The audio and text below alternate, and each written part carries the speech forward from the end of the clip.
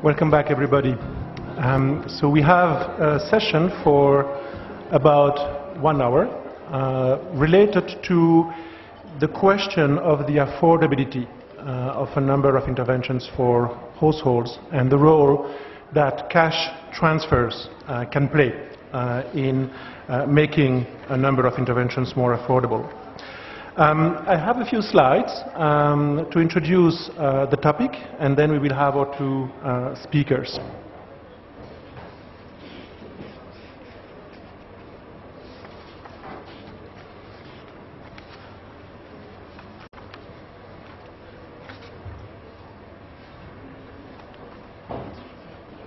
All right, I don't know, Kimberly, if we can put out the slides.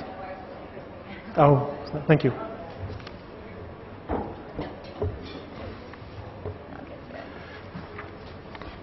Now, if you look at the terms of reference of this session, uh, we are supposed to find out how to allocate funds to provide maximum benefits to children, families, and communities. So that's a tall order. Um, I don't think we will get there, uh, but hopefully we can provide some um, good insights into the role of, of, specific programs. So just as a way of introduction, um, I think uh, we believe, and I think uh, it, it's true, uh, that most uh, parents actually know uh, the value of investing in young children. Uh, and, and, they would really be willing and wanting to do it. Um, and we are actually uh, doing some work on ECD and other topics on, on, Uganda. And I thought I would give you these two quotes. Uh, the child who has gone to a preschool can study in primary one, the first year of primary school, with more ease than the other child. And uh, I found the second quote uh, very interesting. Uh, this was uh, a quote from one of the elders in one of the villages talking about um, the qualitative um, um, experts that were doing the field work, comparing his palms to their palms, and the fact that um, having access to education uh, really uh, helps you later in, life. In life. Now, parents do want to uh, invest uh, in their children, but often they cannot. Uh, and the cost of services is often very high for them. Um, I give you here a quote uh, about preschools in another of the villages. Uganda has actually implemented free uh, universal primary education and free uh, universal lower secondary education in public schools, but preschools are not free. Um, and uh, the costs of preschools varies a lot depending on where you are, but they are privately provided, and that cost is actually too high for most families. Uh, we have to remember, uh, we know, for example, uh, $1.25 a day if we take the World Bank poverty line. Uh, we know that the poor uh, have very low consumption levels. They have actually even lower cash income levels. Many, many of them have very few opportunities of accessing cash income when you are a subsistence farmer. So even fairly low fees can be not affordable for them.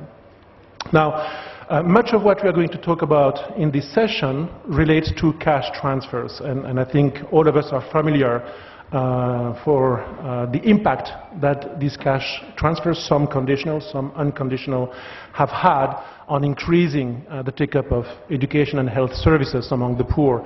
Uh, Latin America's experience uh, for more than 10 years now, and in many other countries, demonstrates that.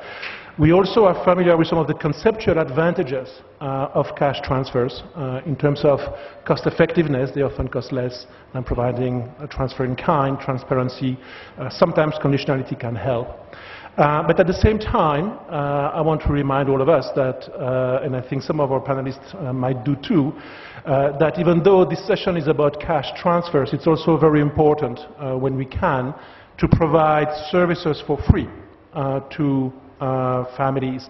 And here I've just put uh, two examples of fairly successful interventions, at least in terms of increasing take-up. Um, when Burundi a few years back made uh, public primary schools free, uh, there was a 20 percentage points increase uh, in enrollment. Now, we have to discuss quality and so on. But even though the fees were very, very low, uh, making uh, the education free really increased enrollment.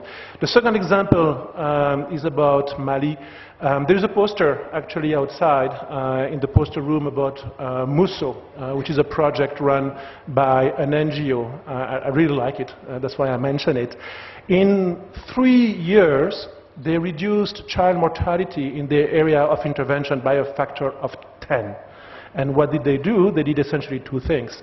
Uh, they relied on a very good uh, network of community health workers who went door to door and checking whether children were sick, helping households uh, do what they have to do uh, to try to reduce um, morbidity and mortality. Um, and they provided access for free when the families needed it uh, to healthcare in this area. So a, a, reduction in child mortality by a factor of 10 in three years, just stunning. At the same time, and I think some of our panelists will mention that too, um, making things for free uh, for households or available for free is often not enough uh, because you need to have good quality of services as well to have this take-up of programs. And the example I'm giving here for Uganda uh, has to do with birth delivery, where um, uh, families had to actually pay for just a few dollars, but still, uh, for a number of things that were used during the process of, of, the delivery at the health center. The government made that available for free, it helped, but you still have a very large number of women who don't deliver uh, at the health center for a number of reasons, which has to do with the quality of the facilities as well as, uh, in some cases, tradition. So, um, Cash transfers, yes. Free services, yes, but also the quality of the services. So we have today, uh, this afternoon, two panelists. Uh, we have Amarjit Sinha, uh, who is the Principal Secretary uh, for Social Welfare of the government of Bihar. And uh, he will talk on two topics. Uh, one is the experience um, of Bihar and India with some of the conditional cash transfers or other services provided uh, for free um, to uh, households and how that helped improve outcomes in a number of areas. He also will talk a little bit about this issue of coordination and uh, between different uh, ministries, uh, different departments to provide services. I don't know if you saw he asked a question on that earlier in the morning, and he will get back with some ideas about how you can actually achieve coordination on the ground. And then we have Lucie Cluver, who is an associate professor uh, at Oxford University and the University of Cape Town, and she will talk uh, about uh, some impact evaluation work that she has done uh, on the impact um, of cash transfers uh, on HIV prevention in South Africa. Uh, each of them will have, in principle, seven minutes, although we have two speakers, so maybe they can go a little bit beyond that, um, and then we'll have time for questions. So without further ado, Amarjit, to you.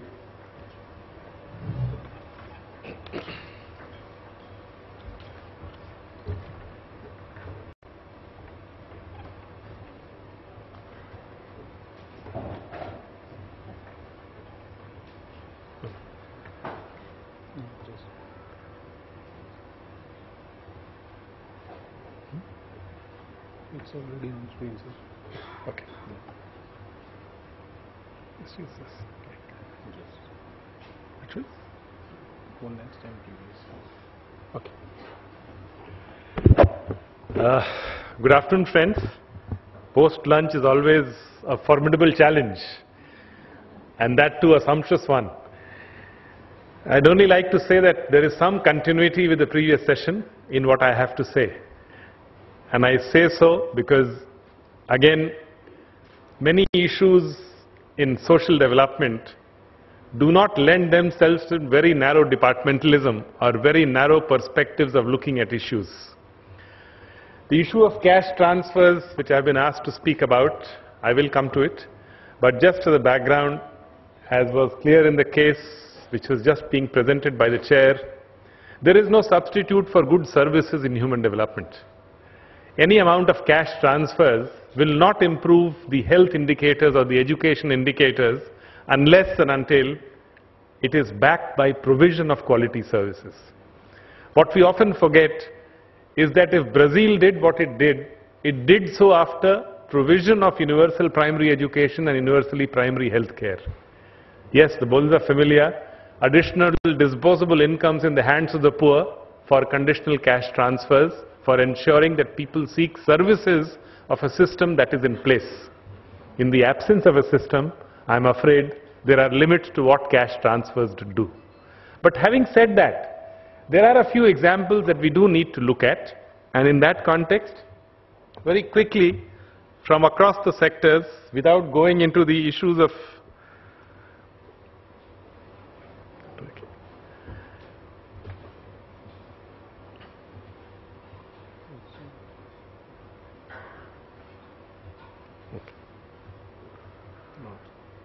sorry. Uh, very quickly, just uh, these sectors you are familiar with, and I realize that seven minutes is all I have, so one needs to rush through. Clearly, cash is no substitute for provision of basic services, the first point that I made. The rationale, yes, it sounds very attractive, hand money in the hands of the poor for them to decide what they want to do. But again, these are sectors which require the provision of quality services. If in spite of any amount of money is in the hands, in a remote tribal hamlet in Bastar in Chhattisgarh, if the services of a surgeon or a gynecologist or an anesthetist is not there, how do we ensure a safe delivery? I think these are issues we need to look at before considering that this seems the only option. But having said that, there are contributions which it makes, and I think some of the examples I just share with you. One of the major examples has been the one on institutional deliveries, Janani Suraksha Yojana, which was started off on the assumption that demand-side financing will bring more women for institutional deliveries to facilities. Yes, it did bring them to the facilities, but did it necessarily translate into a safe delivery? Did it, did it necessarily translate into what we had desired? As studies have revealed, there are issues. While yes, the numbers have gone up substantially, there has been a gain if you look at purely in terms of institutional deliveries and especially in states hitherto so-called the Bimaru states or states where the indicators were poor, institutional deliveries have gone up between 55 to 70, 80 percent in states like Madhya Pradesh, Bihar, Jharkhand, Assam. But not all of it translated necessarily into quality services available to women. Now this again one has to visit very cautiously because if JSY were to be launched without the interventions for strengthening public health system under the National Rural Health Mission, perhaps the results would have been even more difficult. Because unless and until basic provision of services was available, even if demand side financing had brought pregnant women to the facilities, what care could have been provided? So clearly there is a relationship between conditional cash transfer and provision of services. The second sector which I look at, more easier one, and from my state of Bihar, many of you have heard about it, the program of girls getting cycles if they enroll in class 9th. And of course, it was extended to boys as well later. What we find on the ground is a real success story. Yes, money in their hands, money for cycles, money for uniforms, money for scholarships. After all, poor families need disposable incomes for their participation to go up in institutions like a school or a health facility. Clearly, higher disposable incomes through cash transfers did facilitate the process. If I look at numbers, in Bihar, my province, 2005, of those who wrote the 10th standard secondary examination board exam, only one third used to be girls, two third used to be boys. 2013, that ratio is 56-44, and I can say with reasonable confidence, in the next three years, it will perhaps be closer to 50-50. And among other factors, the provision of additional disposable incomes, provision of cycles to be able to reach where they need to go, and it is in this context, on the issue of uh, girls' education, I would like to bring up an issue that I raised in the previous one, when I argued for a common institutional and governance platform for human development, the idea is not to break the compartments as far as allocation of resources are concerned. From my own state, I'd like to give an example related to this, which is making a difference. And that is, Bihar has been the first state to set up a cabinet committee on human development. a cabinet committee which has adopted for the state about 16 to 18 indicators drawn from education, health, uh, you know, age at marriage, whichever problems the state has, water and nutrition issues, sanitation issues, those 18 indicators adopted by a cabinet committee on human development are being monitored at all the levels. The ideal situation is that what the state cabinet monitors ought to be what the community monitors at the household level, what the community, the panchayat monitors at the gram panchayat level. The point I was making was, let this institutional arrangement come in, it will save a lot of graft. Today, one problem of overlap which came up in passing the ICDS and the midday meal program. Where is the five-year-old eating his meal? Is it the ICDS center or is it the MDM? Or are both charging for it? Unless and until we create a common platform, we will keep doing silo committees, seven committees to manage seven programs. No community member knows which committee they are on. For effectiveness, you need a platform on human development without sacrificing monies. But what that common platform also facilitates is thinking in a different perspective. Let me just share one example related to girls' education. In our state, Bihar, we have very high fertility rates, the highest in the state. And because of that, what is the immediate uh, response? The immediate response, although we need to do much more on population stabilization through family welfare programs. But when you look at the data, what does it tell you? When you look at the SRS data, it tells you that whether it is Bihar or Kerala or Tamil Nadu or, or uh, Karnataka, if girls have enrolled in higher secondary education, fertility rates are below replacement level. If they go up to for secondary education, fertility rates are equal to or below replacement level. Clearly, the answer lay in expansion of educational opportunities for girls. And that is exactly what the state did because it had a common platform.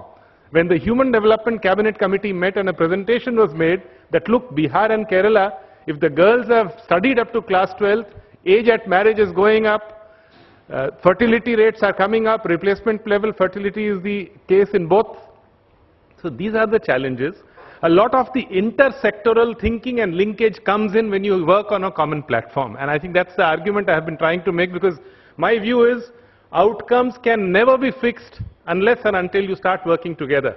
Because the way they are interrelated, if a child doesn't do well in school, the teacher will turn around and say, look, the child was malnourished. There is a permanently deep debilitating impact on learning ability of the child. What do I do? And you have no answer. Unless and until a common platform is created, where you actually look at outcomes and where communities discuss outcomes. Let us not undervalue the role of the community. Unfortunately, what is happening is, in monitoring pupils' progress in a school, in a lot of other things, our assumption is that parents, will they be able to do it? Yes, they will be able to do it. They know the worth of good education for their children. So what we really need to move towards is a framework where we trust communities with understanding these issues. The last point I'd like to make on this, early childhood development does not lend itself to cash transfers as easily as some of these other sectors do. And I say this because a 0 to 3 age child is a high human intensive support required. For some of my friends here who've seen the work of the Jan Swasthya Sahyog in Ganiyari in Bilaspur, I would advise whoever can visit them to go and see what they are doing. The 56 phulwaris that they run for the 0 to 6 months to 36 month children, the point that they are trying to make is, in India at the age of, at 6 months, barely 14 to 15 percent is the level of undernutrition. And you reach 24 months, it reaches 47 percent. After all, what is going wrong there? Are we attending to that? And the answer clearly lies that feeding a child, complementary feeding for a child at that 6 months to 36 months is a time consuming process. Mothers who are working as agricultural laborers don't have so much time. It's a process where a lot of factors with regard to hygiene, health, everything requires a full-time care. So the argument clearly is that mere THRs taken home, take-home rations is no solution for this. And I think when the uh, Inakshi was making the point about investments for children, I for one believe that we have underinvested in the 0 to 3. Our thrust should have been the 0 to 3. If that is where the main issue and problem of undernourishment lies. If we are able to respond to that, clearly the results that we'll get at the end of it are going to be very different. And it's highly person intensive. If you meet the Phulwari workers who work there, they get about 3,000 rupees a month. But the kind of service which is expected of them, when you keep 6 month and 36 month children in a center, it means everything. From, from their ablutions to everything, whatever is required to be done has to be done by the community worker. It's not an easy process at all. Now, unless and until we realize this balance, up to a point. For example, I for one, my personal view is that Janani Suraksha Yojana is no longer required now. If institutional deliveries have become the norm, let that money go into improvement of quality of services. So what is good at one point of time may need modifications and change thereafter because it's not all the time that quality services are possible only by transfer of cash. It can work for increasing, enhancing the disposable income through scholarships, money for uniforms, family making a decision with regard to which cycle to buy, all is well. But when it comes to provision of intensive services, we have to get the balance right. Thank you, and sorry for estimating that. I'm too short, I have to move this down. Well, thank you for inviting me here today. And I'm here really to talk about some of the impacts of the investments that we make in early and later childhood on HIV risk behaviour and, and, other issues in adolescence. And I'd like to acknowledge my co-author, Professor Lorraine Sherr. Many of these ideas came about around her kitchen table, eating bagels and drinking tea. But this research is really uh, a set of findings that have come about through a set of discussions with policymakers and programmers. And over the past year, with UNICEF, with UNDP, with colleagues at the World Bank, and with PEPFAR, we've been essentially doing something like a, a, sort of social protection and cash transfers world tour, a slightly lower grade world tour. But what, going around and speaking to policymakers in sub-Saharan Africa about the evidence for social protection and what their needs are in terms of research and knowledge. And I, I don't know if it's good or bad, you, you can tell me, but this is certainly research shaped by the demands of policy. Well, this, this study was never meant to be a study of social protection or cash transfers, and, and I was never meant to be studying that. This started off as a longitudinal study of the impacts of family HIV AIDS on children. And essentially what we did was in South Africa we selected three provinces. They weren't randomly selected. Government had a bit of a say in which, which provinces we chose. But within those provinces, we randomly selected one rural and one urban area, big health districts. And within those health districts, we randomly selected census enumeration areas in the urban areas and tribal authority areas in the rural areas. And then within each of those areas, we interviewed every single household with a child aged between 10 and 17. That gave us an initial sample of 6,000. We then ran out of money in one province, but in the other two provinces, we went on and did a longitudinal study with a 97% follow-up rate. That means we think we can be quite, quite, quite robust in saying that, that we've, we've got a good number of, of, of the kids followed up, we've got a very good follow-up rate, so we shouldn't have too much attrition bias, and also that we've got something that we hope is at least representative of these very poor areas. I'm happy to answer any other questions about methods that you've got later. But when we were halfway through this study, Rachel Yates at UNICEF cornered me in a corner in Addis. And she said, can you just please look at whether cash transfers are making any difference in HIV risk behaviour? They were desperate to know, and they didn't have any evidence. Well, it took about eight months for us to work out how to do this. And eventually we used propensity score matching, which is a kind of um, way of simulating a randomized control trial. What you do is you, you match participants on, on every other kind of characteristic. We matched on about 300 characteristics. And then you chuck out a whole load that don't match with anyone. And then you look and see whether getting the intervention, which in this case was the child support grant, a, small amount of money that the South African government delivers to about 60% of the children in, in South Africa, and see whether that made a difference on sexual risk. Well, the news was mixed, but it was very promising. We found that for girls, Girls receiving a child cash transfer in their family had a 50% odds reduction in transactional sex, that's sex in exchange for money or food or school fees, and they had a 70% odds reduction in the risk of age disparate sex, and that's sex with a partner more than five years older than you. These are two massive risks for HIV infection for girls in sub-Saharan Africa. But what's also interesting is what it didn't do. It didn't work at all for boys in terms of HIV risk, and it didn't work on some other sexual risk factors. It didn't change multiple partners, it didn't change unprotected sex, it didn't change sex when you're getting drunk or, or taking drugs. What it seemed to be doing was not changing the kind of stupid stuff teenagers do, but it was allowing teenage girls to make the decisions about who they wanted to have sex with. They weren't needing to have what we call in sub-Saharan Africa a sugar daddy to pay their school fees. Instead, they were able to choose to have sex, even slightly risky sex, with younger boys who were much lower HIV risk for them. But this is, this is all very well, said David Wilson at the World Bank when I, when I spoke about this a, a few months ago in, in Cape Town. But it's not doing enough. And what, what he was thinking was that we should be introducing conditionality. But we also took a step back and said, okay, if cash isn't enough, do we need to be adding something to cash to make it work better? Well, what we ended up finding was the most effective addition to cash was care. And in this case, cash we expanded to include free school feeding, free schools, and food gardens. And care was positive parenting, visiting, home-based visiting, um, school counselling, and um, teacher support. And what we found, and we looked at a whole range of HIV risk factors, we looked at all, all the ones that we'd looked at before. And we found quite different results for boys and girls. For girls, cash alone does reduce your incidence of HIV risk behavior.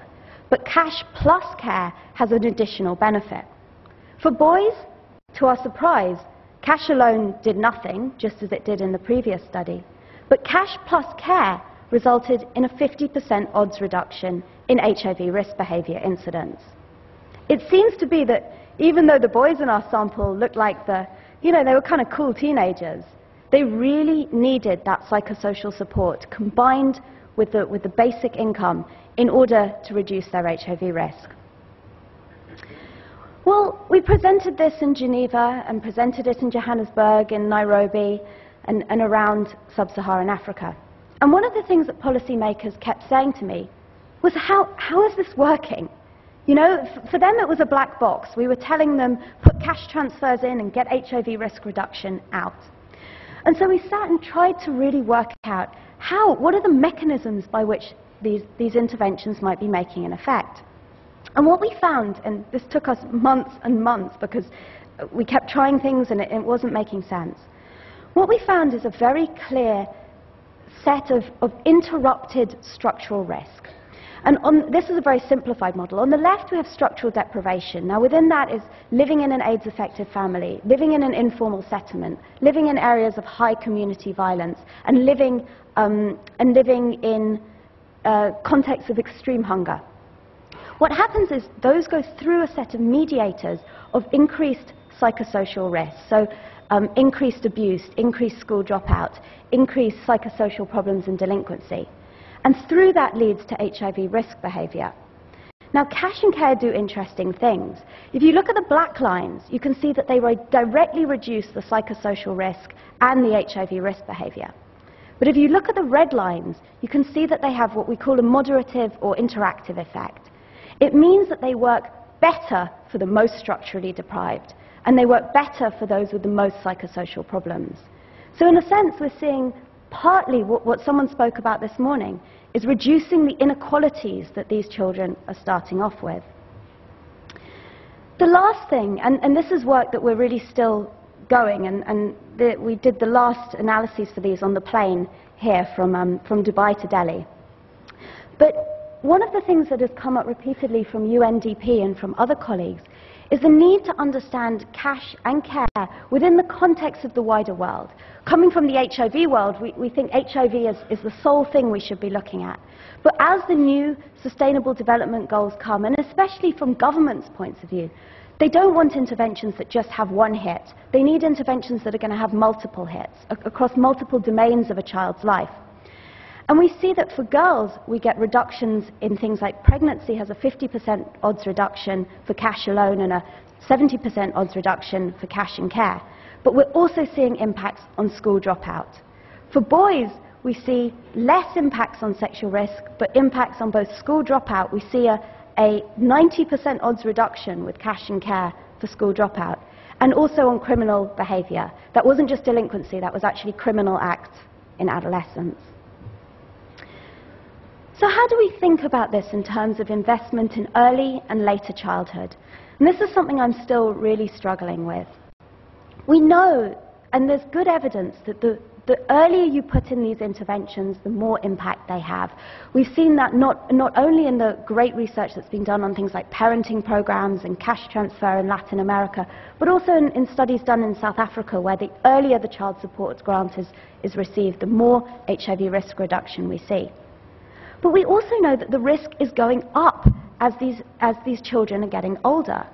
And we're also seeing that unless these interventions are sustained, they don't work. When we look at our analyses, time one cash transfers and care does not predict time two outcomes unless the cash and care is sustained across the period. So I think it's a, real, a really big question for us. So what do we know? We know from this that cash plus care can reduce HIV risk and mitigate structural risk. We can also see a range of benefits across different domains. We can see that they need to be sustained in order to work. And I think what's really encouraging about this, this is not a randomized control trial. It's, it's not that level of quality of evidence.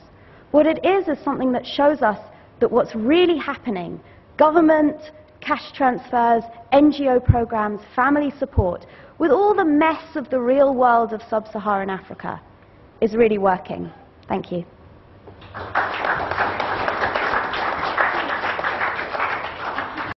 I think uh, an interesting theme that came from both the presentations was yes, there's a role for private investments, which is really around strengthening existing public systems, that you can't really create parallel infrastructures. It's more about working within the system, strengthening it, and then you know maybe looking at scaling up.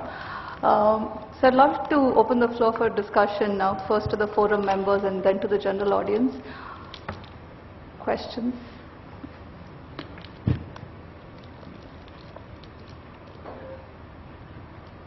Uh, thank you very much for that session. It was really interesting.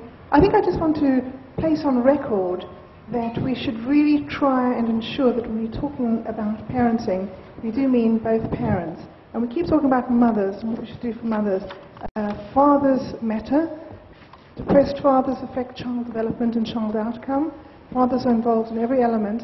And we, at our peril, will uh, try and stride forward in early child development and leave behind 50% of the um, resources that children have. So just to keep remembering we should use paternal parent rather than just focusing on mothers.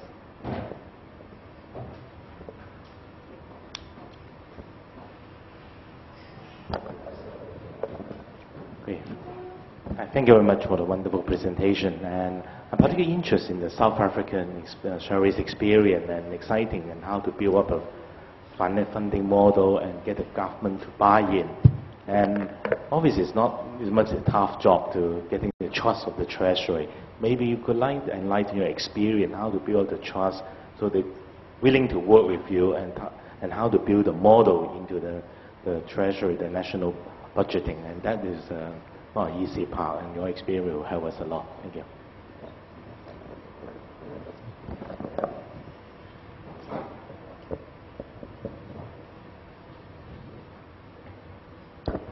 Thank you.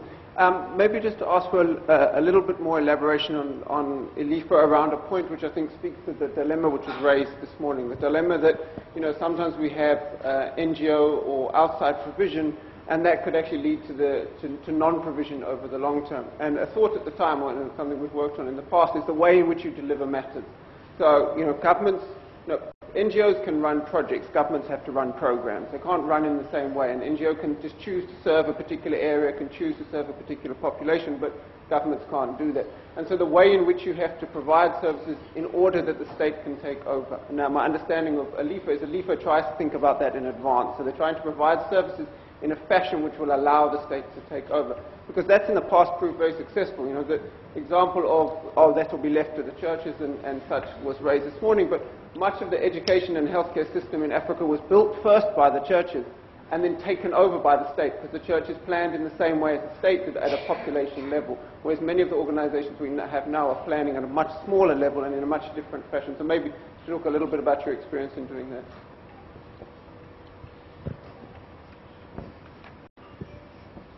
Um, along the same vein as that question, but maybe taking it a little bit further, I guess I wanted to hear a distinction between public financing and public provision. Uh, I can certainly sign up for the case for public, uh, public funding, uh, especially for poor children. Uh, but I want to hear from the panel whether you believe that there's also a strong case for public provision. What is that case? Why isn't it sufficient to have public funding that for private provision?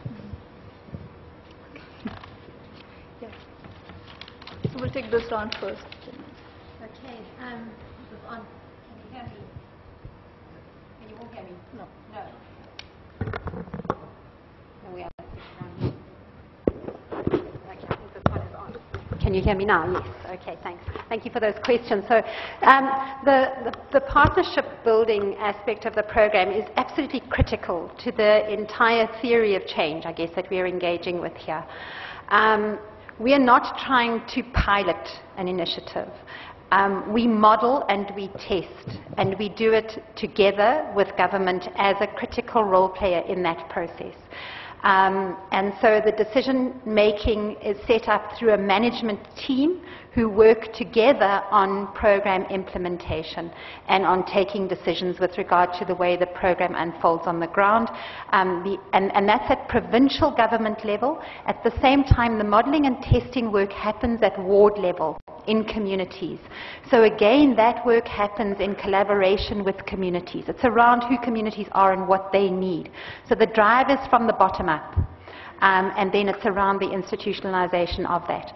Um, so really the core of this is relationship. Um, and at the same time, it's through governed by a memorandum of understanding.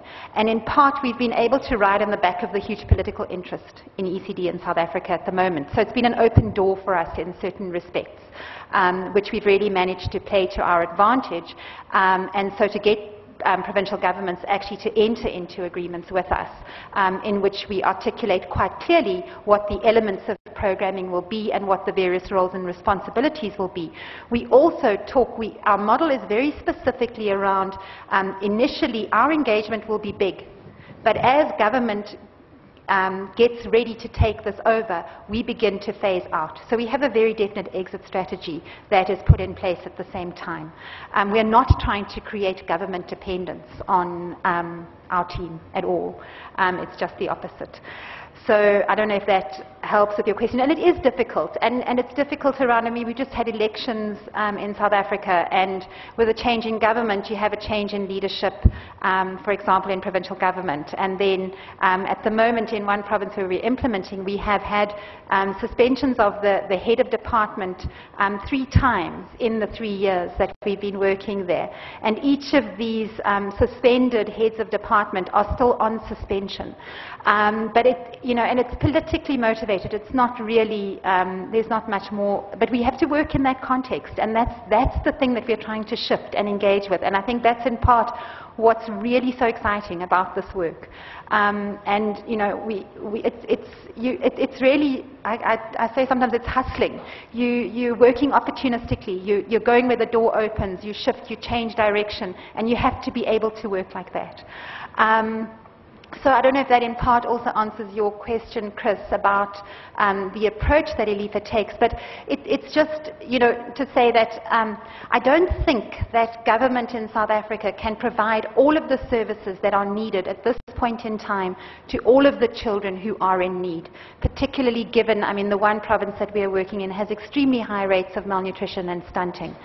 Um, and you know, th there are great concerns around this. It's not to say that there isn't enough money, and I guess we saw today um, things around increases in, in, GDP and so on that could significantly influence um, the way in which government is able to make resourcing available. Um, the South African government does put a lot of money into early childhood development, um, and so this is not about trying to take over that role either. It's about recognizing that there is need for a system to change, and it's about how do we use the resourcing at our disposal to work catalytically to bring about those kinds of changes um, and to enable a model that will be sustainable and will be scalable um, at the end of the day. I'll only talk about the uh, public provision question that came from you. Um, I believe that public provision can be effective and can be efficient. The question is uh, how to make it in, in the context of a particular country. Uh, I remember um, several years ago I went to a small village called Shivpuri in Bihar and I found that the school was fantastic. Uh, not only were the children uh, learning, in fact we went there, reached there at night and there was a whole bunch of girls uh, sitting down and studying.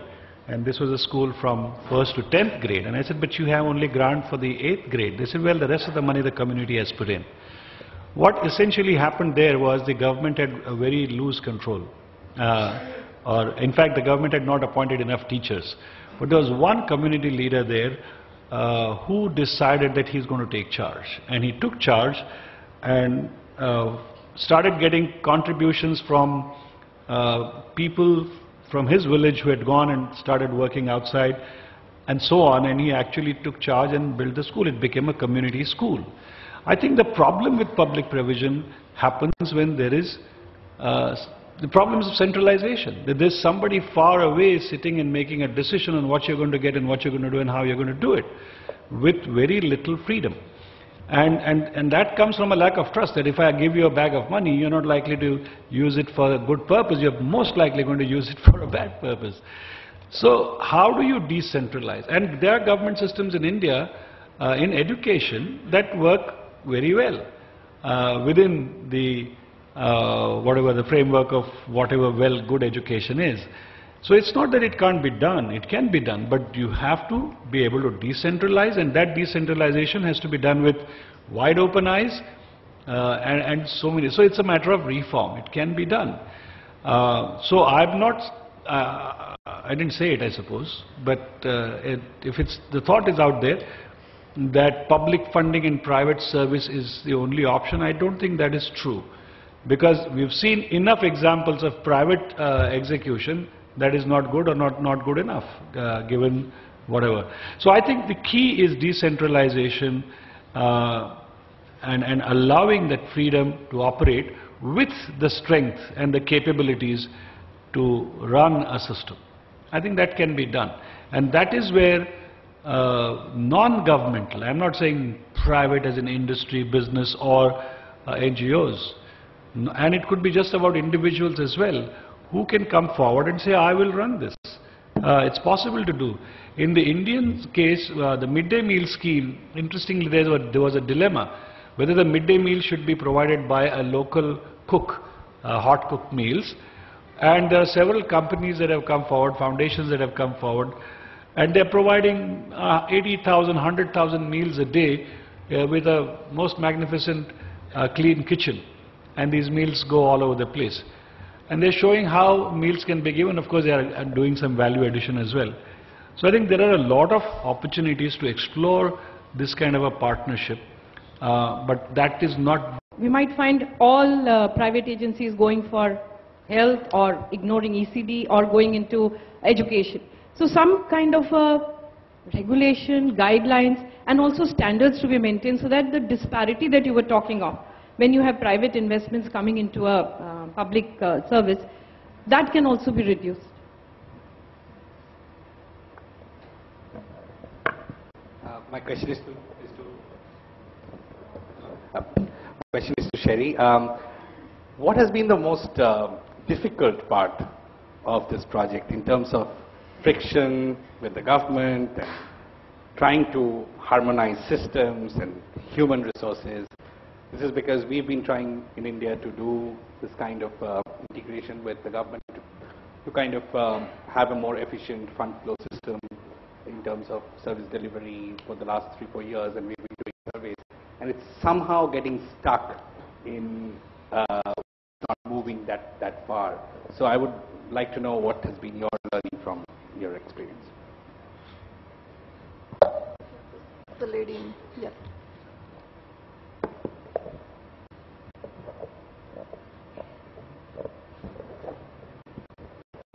I'm Lenny Chaudhary. I'm from the Narotam Sekhsaria Foundation, a grant-making organization based in Maharashtra.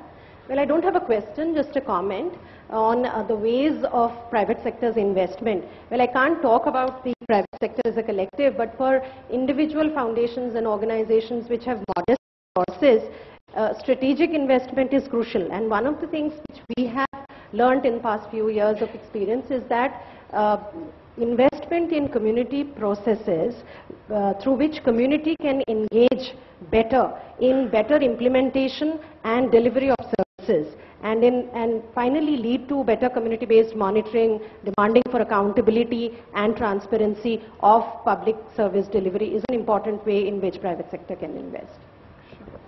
We'll take one more question. Thank you very much. I'm Florence Baingana from Makerere University. Glad that uh, Mr. Chavan brought up the issue of um, the community school that he mentioned because my question was for the very poor areas, very poor geographical areas, very often private investors don't want to go there and at the same time they are the same areas with very low investment in the public sector. And so I don't know whether there are any other examples where, um, com where communities have come together and worked in partnership with others maybe the public sector, maybe other investors. I know that in Burundi, they did that for ECD, and maybe Quentin could talk to that. But they did it, and it started off as a small World Bank project, but which was then taken up by the whole country, scaled up to cover the whole country. But are there any other examples that we could learn from? So we'll take this round first. Uh, go first. Um, I specifically, I was asked this question about the CSR thing. Um, I'm not sure you can and you should direct CSR funding saying that so much percent uh, to go to ECD, uh, not right away anyway. Um, I think the bigger problem in that is that, I mean, if, if you go and persuade a corporate sector, uh, a business that this is where your money will make the most impact, then they should be able to come out and do it. The bigger problem is the obstacle of in my backyard and I think it's formalized by the CSR law in to some extent.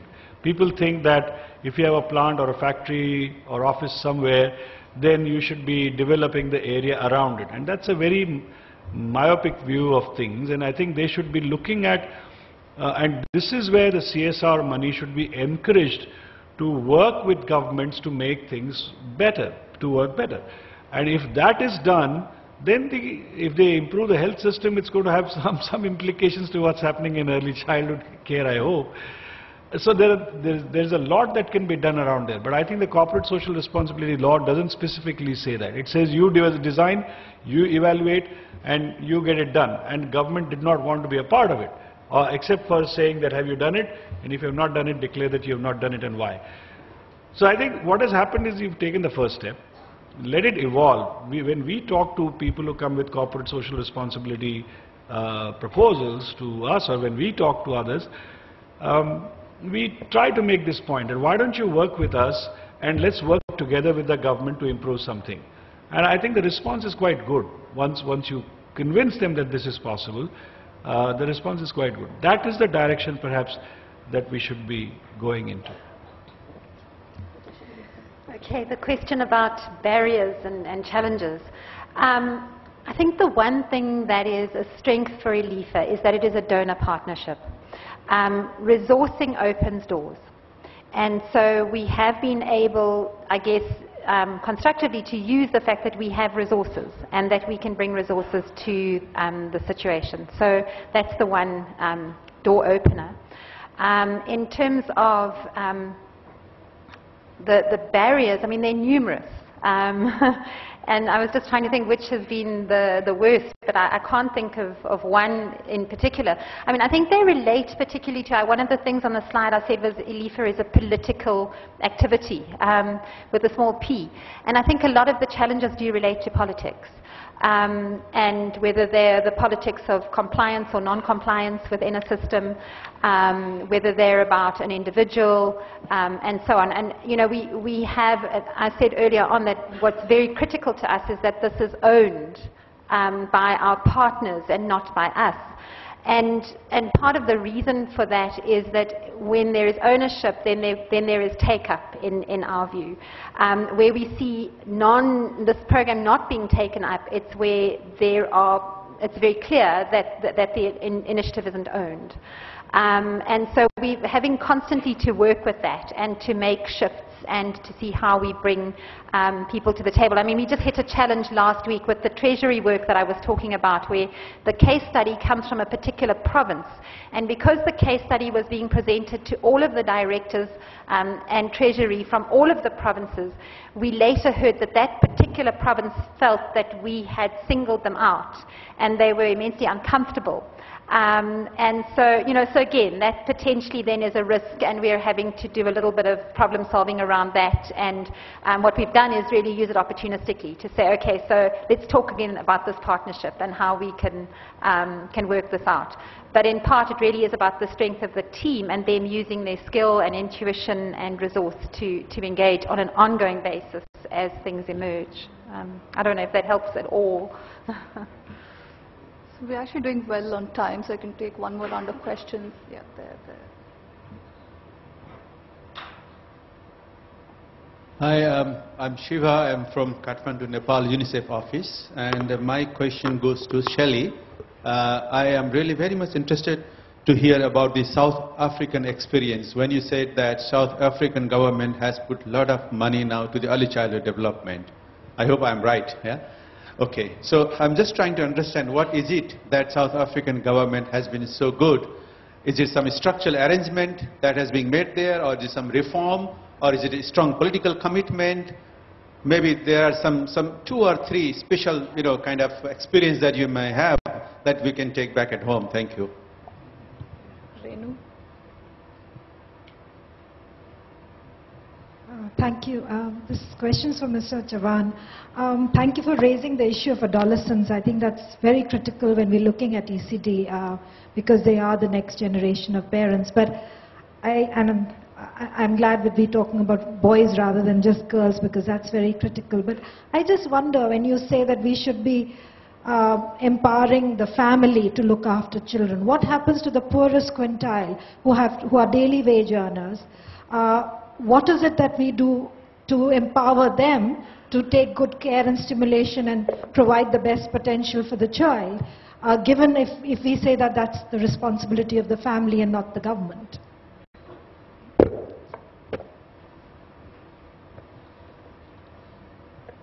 I'll just like to add on to what Renu said because you were talking about uh, mothers and educating the mothers. When we know that in our rural urban areas, the entire burden of looking after the household, looking after agriculture or going out to work, earning a living, all that comes on the woman. So are we still saying that that child also has to be looked after by the woman? Does she go have uh, the right also to work? Does she go out? And even if you don't talk about the right to work, then you know that it is more of a necessity for the woman to go out and work. So why are we putting this additional work uh, load also only on the mother and not, uh, you know, on the parents or on the family?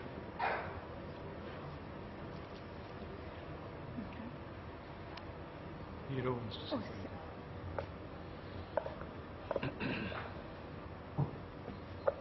Thanks.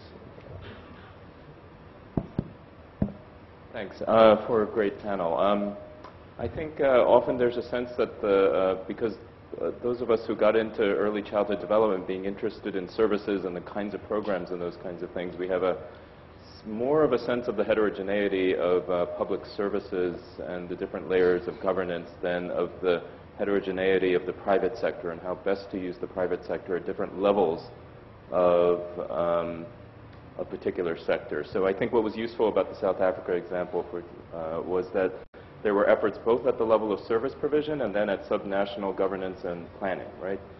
Um, so could, uh, could you perhaps both speak to the level of how you pick particular donors um, and which are the particular kinds of uh, parts of the private sector that are most suited to supporting direct service provision, professional development and training, subnational planning, um, and then I think something that perhaps wasn't talked about as much, but the role of the private sector in national advocacy and uh, work with policymakers, that kind of.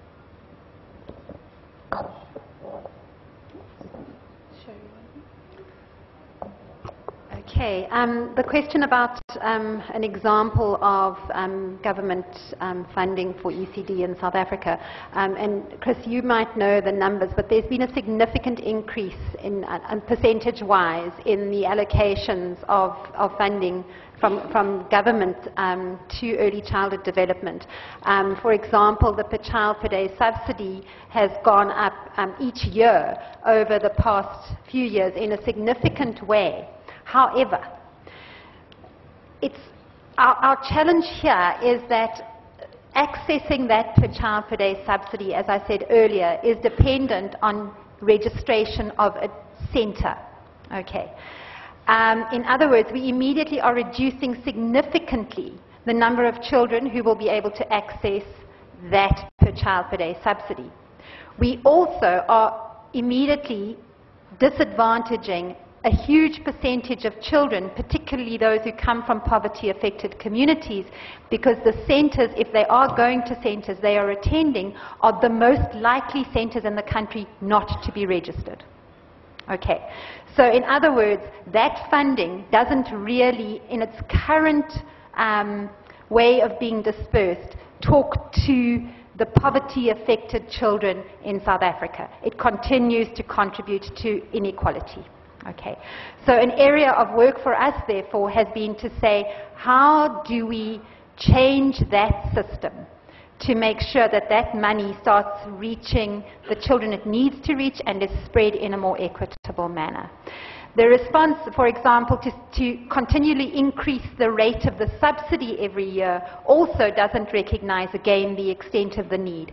We aren't increasing the number of children who are accessing the grant. What we are doing is we are increasing the amount in the grant. Doesn't make sense.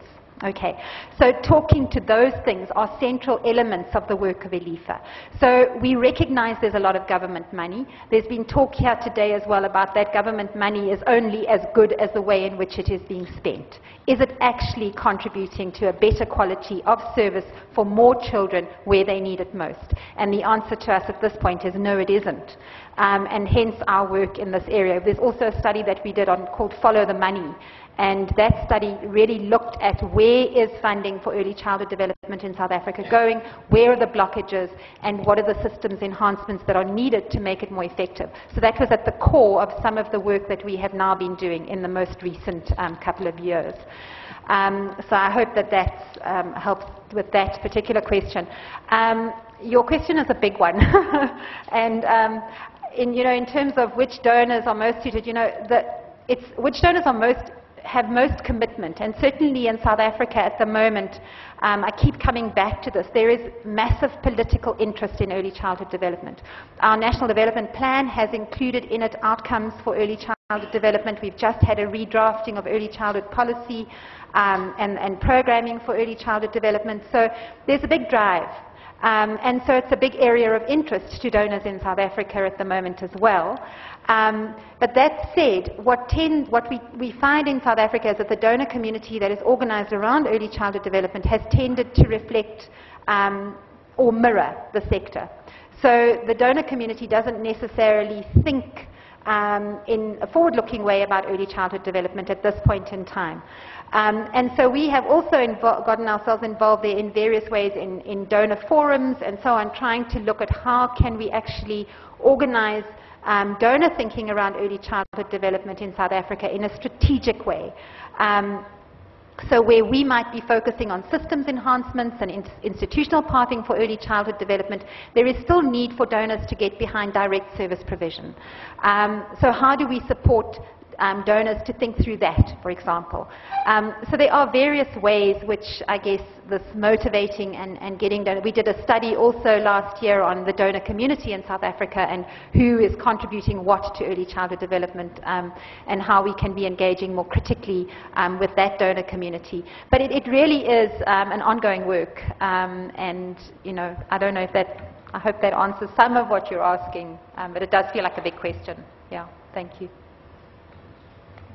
so there are two questions um, which are related. Um, you see, the, when I talked about families uh, uh, being empowered or mothers, fathers being empowered and able to take care of the children, I was basically saying this in one particular context, that what the government or a third party agency saying, I will take care of your children. The attitude is that they will take care of my children or our children and then you get weaker and weaker in terms of looking after your own children. Who has the primary relationship with the, the, the child? Who feels responsible for the future of the child? The system doesn't. The system is not caring. Now what I'm saying, I'm not saying uh, that a working mother who has to work and do everything should also be looking after the child. Actually, she does look after her child. Or hopefully now more and more men are also going to look after their child. That's what I would like to see. Uh, so the question is not whether either or, that the mother should look after and not the, the uh, caring institution or daycare.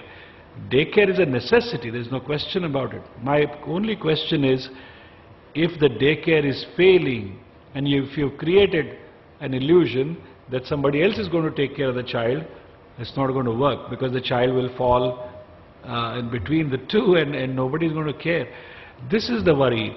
With fragmentation of the society, with more and more nuclear families coming, there's so many structures, the social structures that are disappearing, and the natural social support that the child had, uh, you know, the old times, uh, it's still quoted, it takes a village to uh, educate a child. We've forgotten about that. It's, we are now saying it takes only a school to educate a child. Where is this serious feeling that everybody is responsible? Uh, and, and so that is, the, that is the whole point.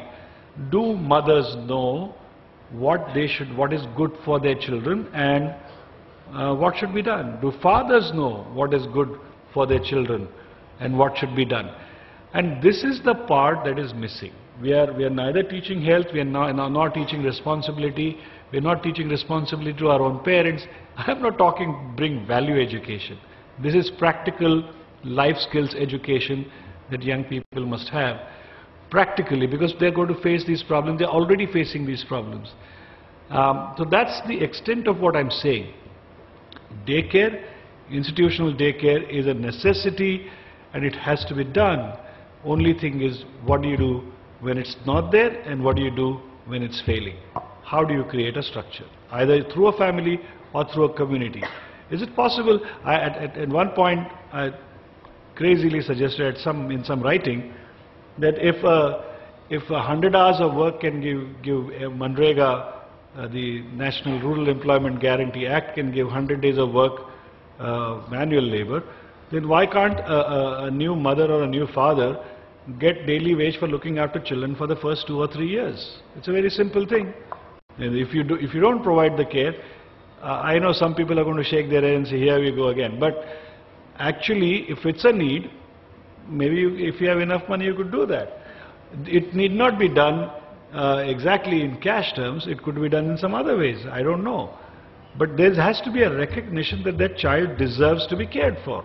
And if you can't provide that care, then come up with a solution. And that's, I think, what the conference is all about.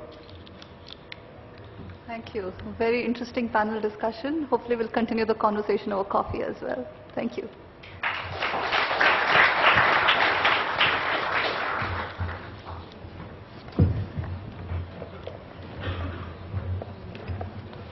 Is from the Children Investment Fund Foundation.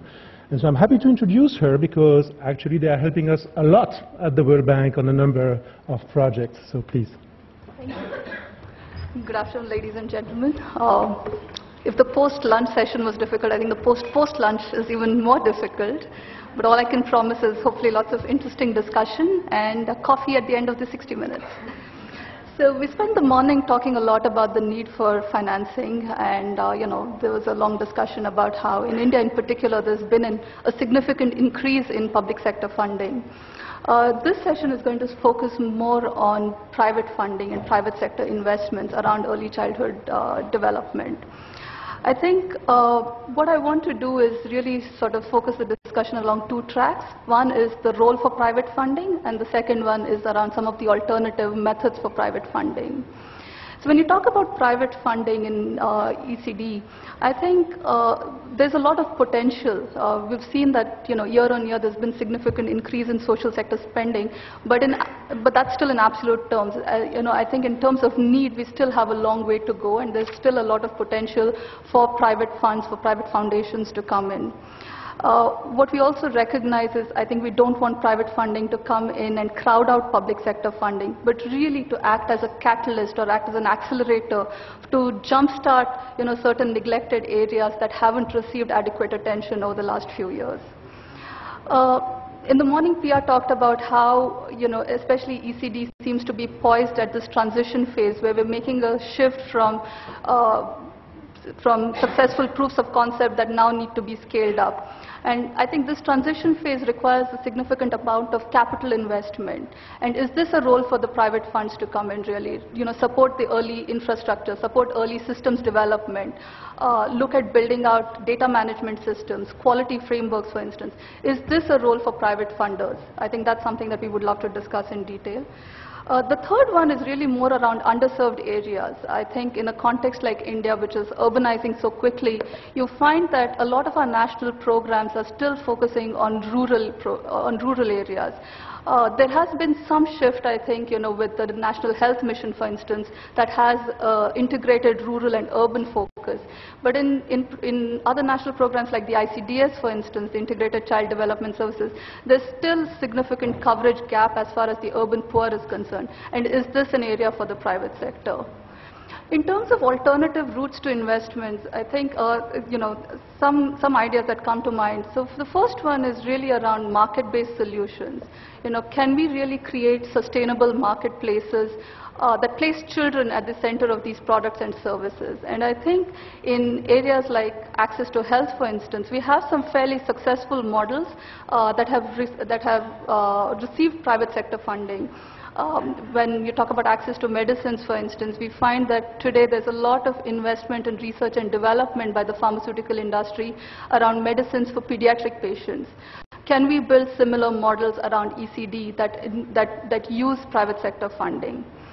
Uh, the second one is really around applying some of traditional financial instruments and funds uh, funding mechanisms to, for social impact. So you have a whole growing body of work around social impact bonds, development impact bonds, uh, their social impact funds. And in fact, uh, one of our panelists will present her case study around a, a very compelling social impact fund that's being uh, you know, run out of South Africa. I think the third one, which is more India-specific, is really around corporate social responsibility, which, you know, again, several of our panelists in the morning have talked about. This is a, a really interesting avenue for private funding in the country. Uh, I think we, there, there, needs to be a lot more focus and discussion around how we can, how, is there a role for an aggregator that will actually pull all of the CSR funding that's going to flow and actually channel it to areas that are in need. So with that, I'm going to introduce my two very compelling panelists. We have Sherri Le Mottee. Uh, she is the program leader for Ilifa Labantwana. Uh, did I say that right? uh, a, catalytic fund uh, that's focusing on social impact across South Africa. And our second panelist is Madhav Chavan, who's the founder of Pratham, one of the largest non-governmental organizations working in the education space. Among several other things, Pratham is really known for their ASER report, the annual status of education report that tracks learning outcomes on children on an annual basis. So with that, I'm going to hand over to Sherry first.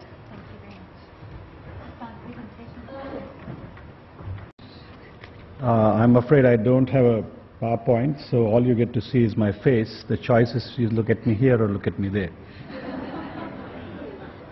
Um, I can't claim a great deal of knowledge of finance or investment. And for that matter, I'm sure a lot of people in the audience would say you don't have much knowledge about early childhood development either, and which would be a fact. Uh, in my approximately 25 years since I left, stopped being a chemistry teacher, I have engaged with communities uh, in basic uh, education, adult literacy, early childhood education, and so on and so forth. Um, one of the things very early I learned is, and I endorse what Amarjit was saying, uh, is that communities are important and you cannot ignore the communities, which is something that I'll pick up on a little later is that when you challenge communities to create their own services, they do come forward. It's a question of how do you really enable them to do that. Um, I'm going to talk about uh, three things. One is the government services part. The second part, communities and family. And the third part is about other needs and then related to the role of private funding, if at all.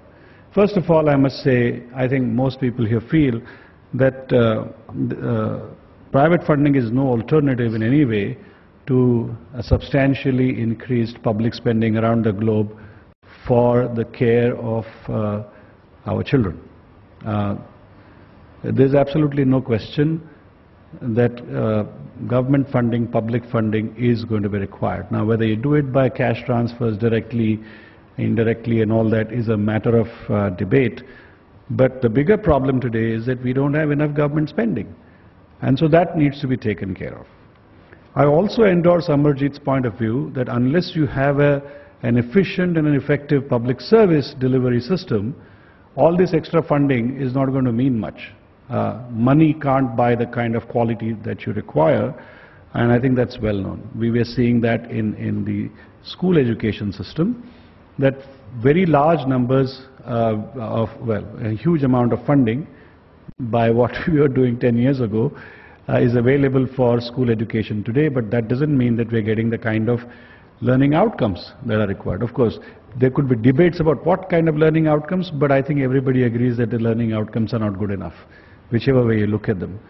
And there are uh, a lot of things that need to be done. What is interesting and scary at the same time is that in India, uh, because, and I, I can't say, it, it's happening in the early childhood uh, care and development area as well, but in it's, the numbers are very clear in primary and upper primary education. In India, I'm afraid it's probably true of the rest of the developing world gradually as well, is that today, and we've been watching this move over the last 10 years through our annual status of education report, is that today nearly 35% children of India in the uh, elementary education age group, in spite of the Right to Education Act, go to private schools. Whether you call them shanty schools, bad schools, good schools, but parents have chosen to put their children in those schools and the percentage is extremely high in some states and especially in the urban areas. What this is doing, I, I mean, we always knew that the middle classes and the upper classes were send their children to private schools. But this uh, change, when you talk about 35%, it's a huge number. In a state like Uttar Pradesh, in the rural areas, villages are divided down the middle. I'm not saying everybody in villages is poor, but down the middle along caste lines, and 50% children, uh, the percentage of children in Uttar Pradesh rural going to private schools is about 48, 47, 48%, which means every village nearly is divided. I won't uh, elaborate on that too much, I'll run out of time. Where I live now, I've, I've, got a little house in Pune, in the area called Baner. Uh, my whole street has something like four or five, five I think, uh, daycare and early child care centers meant for the children of all the middle class young families that have moved there. And they are investing. And there are a lot of people around here who are saying that we can invest because those who want to pay and avail of these services will actually create that provision because there is no other alternative. What that is doing, I'm, I'm, I'm all for giving good child care to all children.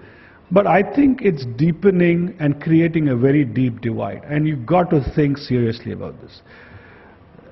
The private investments can make, can play a very positive role, but they can play a very negative role as well. And I think you've got to be really uh, conscious of the negative role that you could play by doing certain things. It's not about regulation. Uh, how can, you know, there will be all the best private school, um, daycare centers and so on. But this country and, and most developing world, or children, they are in need of protection, of nutrition, and good care and an opportunity to learn. If that is not accepted in practice, then we are in a lot of trouble. Now the question is, can private investment play a role in helping the government services become more effective and efficient? How can that role be played? Uh, and what is the best way of doing it? I think there are several ways. We just heard one uh, way of doing it, and there could be many ways. We've been working with Anganwadis in Bihar, Anganwadis in Delhi, Anganwadis elsewhere, where we send out a volunteer and who tries to help doing things. But that doesn't mean we're fixing the problem. There is a need to uh, create alliances so that the government comes forward and private bodies come forward, private meaning either investors as in money or investors as in talent, and work together. Uh, I don't have a case study to cite, but I think this is easy to do if the government really opens up. And the question is that it not always is ready to do that because of the traditional mistrust between the two. I want to shift gears. All this that we're talking about, I think the underlying uh, uh, feeling, I don't know what the word is, is that all this is about giving institutional care that the government is going to provide or somebody is going to provide that care. And I think in the bargain we lose out completely. I'm not saying everybody is not thinking about it, but what we lose out in, on is the role of the family, mother in particular. And I think there is a, a cause to be made to invest in mothers to be, fathers to be, right from youth. And uh, whatever I heard about the uh, adolescent care and so on, I think that is the part where uh, we, we have not focused. Uh, uh, the child is going to spend maximum amount of time with the mother for at least the first two or three years before he or she finds a feet and starts running around. So I think what are we going to do and have we done enough to enable the mothers to first of all take care of the children? The government can't say, I will take care of your children and not take care of it and not enable the mother either. I think the first thing is that the parents would like to take care of the, of the child.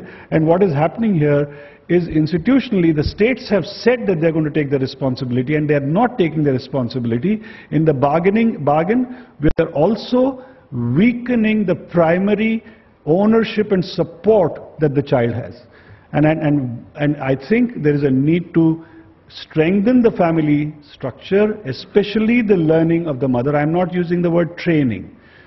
I don't like that word. But anyway, the learning of, of mothers to be able to take care of their children, whether traditional ways, modern ways, I don't know, but that is something that we are missing, I think, that needs to be taken care of. Finally, I don't know how many minutes I have left, none. Um, finally, I think there are simple things that that my children had that the uh, underprivileged children don't have, and it doesn't cost a lot of money. Imagine children getting books every month. One book every month. How much is it going to cost? Uh, toys are, it's funny, children like to play with spoons and all kinds of things in the house, but you still want to give them toys for some reason. Let's say toys and equipment. And if you were to say that we want to give, let's say there are 20 million families who have zero to three year old children in their homes. Just take a number. I could be wrong. Shiva will probably correct me.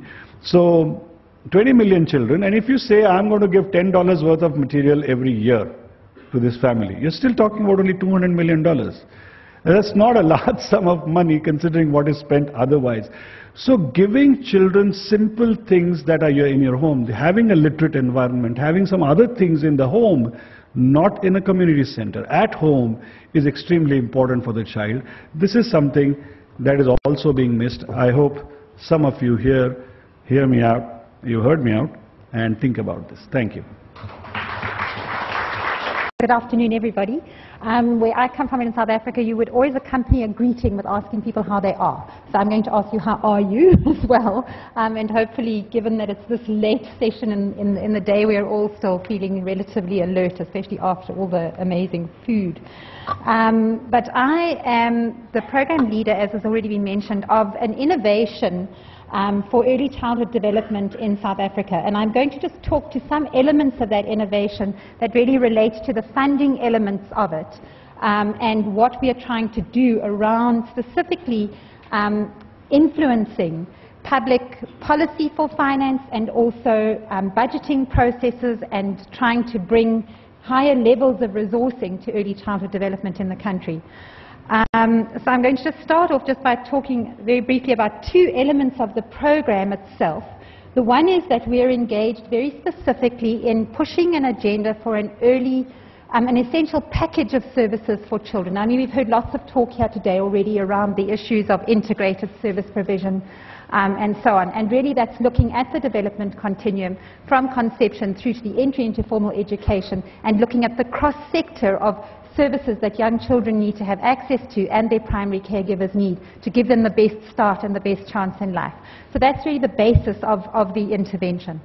Um, the second thing is that within the South African context, funding for early childhood development in its current form doesn't provide a solid base for uni universal access that it tends to still be advantaging the advantaged and children who really do need access to services, the way that the funding models are currently structured, are not necessarily facilitating that level of access.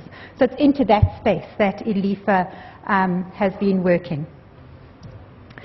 Um, so the first thing to say is that ILIFA is a donor collaboration. Essentially, three donors in South Africa came together, all of them with a great interest in making a difference to early childhood development, and particularly to focus on the 40% of poverty-affected children um, growing up in South Africa. So it had a very specific focus and a very specific interest in those children who were most deeply affected by poverty in the population. Um, these three donors and, um, are one is a, is, a, is a large South African donor called the DG Murray Trust. The other is um, ELMA Philanthropies, who you might know. And the third is a, is a national bank, um, First National Bank. Um, and then we, do, we did also at one stage have um, UBS Optimus also as one of the key partners. They've stepped back a little, but they remain engaged um, in the program and are one of the um, founding partners. So these three, I mean, three partners really got together and developed together a strategy for early childhood development. And this donor platform essentially leads and pushes this strategy. Um, so ILIFA is an actor in the sector, um, using its resources really to bring change, and, to, and those resources are used catalytically. So we look for partnerships both in civil society and in government um, the idea of crafting government systems was talked about in the session earlier. At the core of the focus of ILIFA is that government is the primary duty bearer for the provision of early childhood services, and that that may be done in various forms of partnership with various players in the sector, but primarily it holds that responsibility. So one of our first things to do is actually to engage directly with government. We have, and we're, we're working in modeling and testing um, situations in two provinces in the country, and those modeling and testing situations are governed by memorandums of understanding between ourselves and government. We then work around those memorandums of understanding and we bring other partners into this process who then are able to actually act as the service providers. So, for example, through the funding, we would bring a home visiting program into that province. It would be implemented, but it would be implemented in partnership with government. Um, and really, our focus is on enabling the system. How do we institutionalize programs like this so that we can talk directly to the issues of scale? Um, so, really, the resource base of the program is about creating access and leverage. Um, okay. We have Together One Fund. We are working on, on one focus.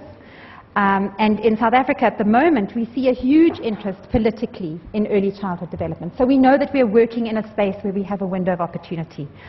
Um, Within this donor fund, there are certain elements, I'm sure those of you who work with donors or who come from the donor community know that it's often governed by lots of issues and challenges around how we're monitoring, how we're evaluating, and all of the issues that go with that. And so getting this donor fund actually to run and to work effectively has been in itself a fairly ambitious initiative. Um, but given that all of them have had this deep commitment to early childhood development, we've managed to make it work. Um, and the idea really is that the fund is able to move quickly.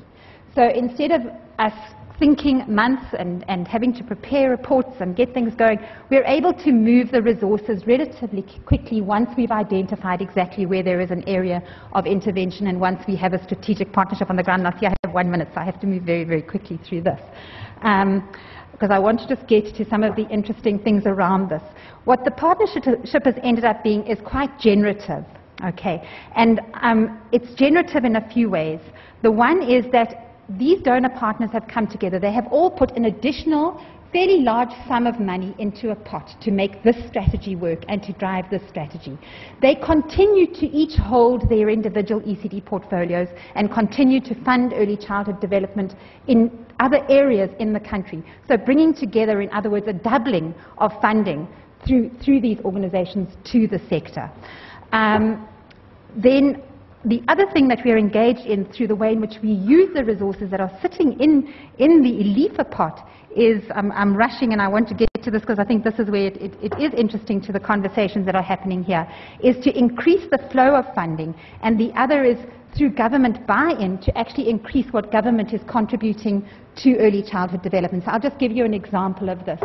Um, in one of the provinces where we are implementing, we have done very specific costing work on what the service provision actually costs. So taking a home visiting program through home visitors at community level to be supporting vulnerable families costs us X amount to get that program going.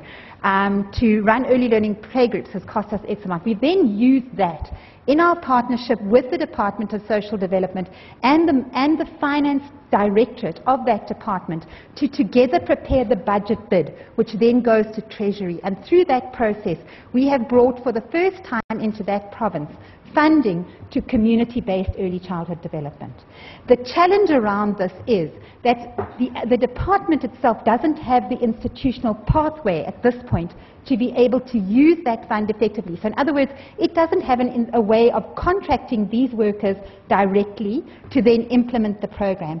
So at the same time as us working with the funding, we work with the system around what are the system changes that need to happen to enable this program to be taken up, to enable the employment of these workers, and then at the same time to be able to use this funding to contract them um, in the right way. So it's a bit of a top and tail um, kind of approach all the time with our eye on the system, but at the same time um, pushing the system to change through the implementation on the ground. There are a couple of other examples like that of, of impact on this work, um, and I unfortunately don't have enough time to share all of those with you. But there are a number of our publications that are in, um, that were sent to you. And perhaps I could just say one last one very quickly, um, is around um, working directly with Treasury in South Africa, um, one of the other successes of this program so far has been that um, funding to children in centres in South Africa comes via a per, per, child per day subsidy. Not every child is able to access that subsidy because it isn't, it is, there isn't enough for it to go around for every single child. But in order to access that subsidy, centres have to register. At the moment, that registration process is particularly onerous. There are three levels of registration involving 16 different stages. Um, a study that's included in your pack that we, we did around this was taken on board by National Treasury in South Africa. We were asked to come into conversation with them to talk about how we could enhance the system to begin to overcome some of these barriers to accessing registration and therefore accessing the child per day subsidies. We're currently involved with them on looking at how to refine the system.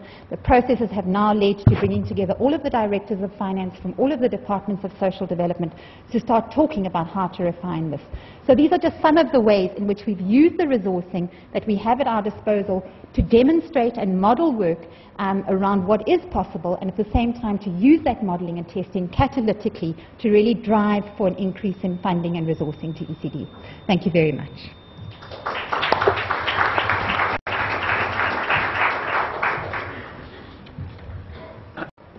Thank you very much uh, for the two presentations. Uh, I'll now open the floor for comments, questions, uh, and as has been the practice, start with the forum members first, and then the others.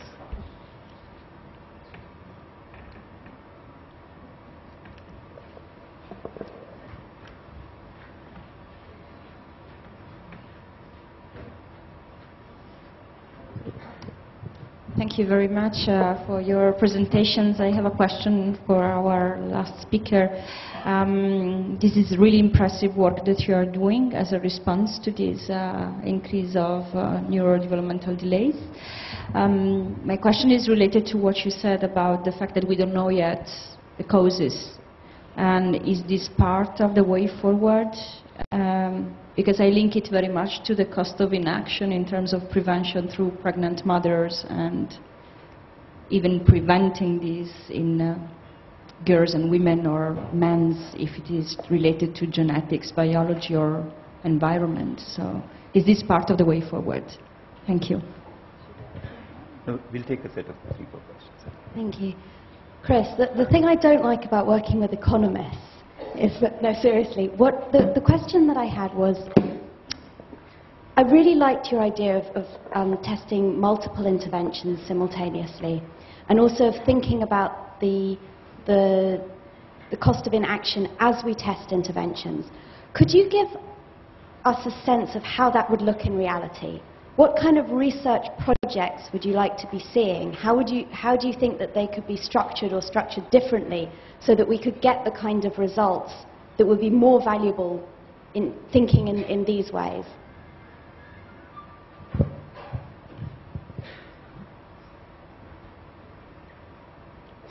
Yes, uh, this is a question for the last speaker. If you could clarify a little bit more what, how the budgeting worked in this program and what the, how, for example, the unit costs were defined and uh, say a little bit more about the budgeting and financing part of this. Thank you. We'll just do this, uh, Lorraine, and then I'll come this side.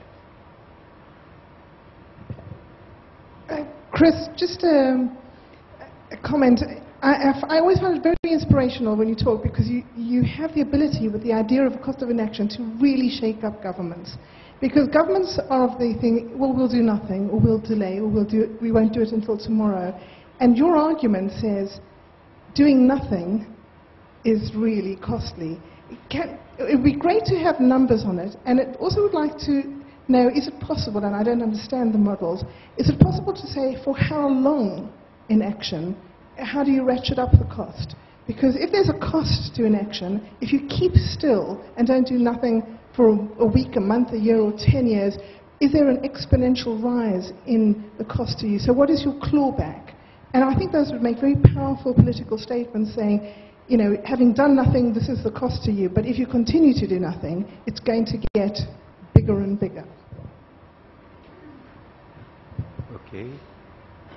Oh, yes, yeah, please. Yeah, this is also for Chris. Uh, Chris, I like the, the baking analogy, and I like the vector of outcome. I wanted to ask you what is in your vector, uh, and in particular, with time differentiation. What would be in it a year from now, two years from now, 10 years from now, 20 years from now?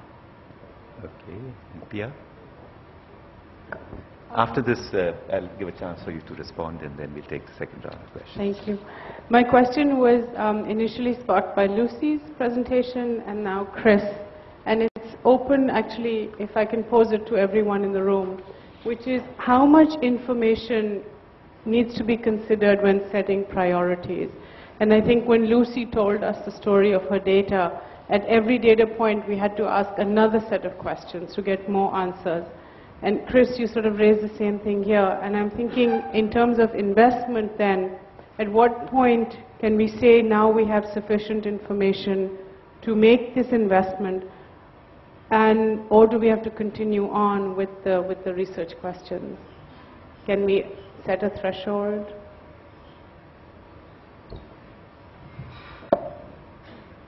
Okay, thanks. Uh, lots of great questions. I'll try and be um, quite quick in response. In terms of the, the sort of types of research that, that one needs to, to answer these sorts of questions, I mean, the, the, the answer is a lot, and then it's going to come full circle to, to uh, Pia's question about when can we when can we say that we know enough to, to, to make decisions? So, I mean, I think there's a number of um, ways in which the, the evidence can, can be improved, and that's starting to look, for example, at combined interventions. So, you know, if we know that certain things are good, but certain things are likely to work much better in combination with other things, then that's one approach to, to having trials which look at combinations of interventions and them on their own. But that's a, a very long way round to go. The other alternative is, you know, we, we have to be very clear that randomized controlled trials, while extremely useful, are also very expensive and actually quite limited. I think we have this view that they are the gold standard of research. Randomized control trials only tell you that something worked in some particular place. They work very well for medicine where there's a, generally a very clear biological pathway and you can have an understanding of whether or not that biological pathway will vary by context. But in the types of interventions we're testing where everything interacts with everything else, they actually don't tell you a great deal. They tell you that that intervention worked in that country at that point in time for those children. That's not a really rich data as it's often made out to be. And actually sometimes the older methods of doing the, the econometric work, the, the statistical work to try and unpack the relationships a little bit more uh, is actually a much more useful approach. And also at a point that actually Larry Abrams made in, in the past uh, in work that we've, we've, done was that also the need to introduce um, intervention studies which, task, which target particular pathways of impact so that we can start trying to get a better understanding of what exactly is causing it rather than the very blunt tools uh, which we, we often um, often used. In terms of the numbers, this, the, the, same problem applies. I mean, we, can, we talk about the cost of inaction framework, but context matters so much that you can only really apply the numbers to one particular case. So in, in, the, in the book that we did on the method, we do have six case studies, three from Angola and three from Rwanda, which put numbers to this and put which fill out the vector of outcomes in, in terms of what we, we thought was important for that, those particular interventions. But those are relevant for those countries. Uh, and how one does that for other countries is what the point was made this morning, is that you have to repeat that exercise in order that we have the, the locally relevant information. In terms of what benefits, we like to, I, didn't, I just it was on the slide, but I didn't have time to mention it. We like to think of two sets of outcomes. We, we talk about what, what are the sort of constitutive benefits of interventions and the consequential benefits. And the constitutive benefits are really the reason why you go out to do an intervention. So, for example, reducing maternal mortality, the reason you go out to do that is because women shouldn't die giving, giving birth. That's reason enough. That's what constitutes the reason for the intervention.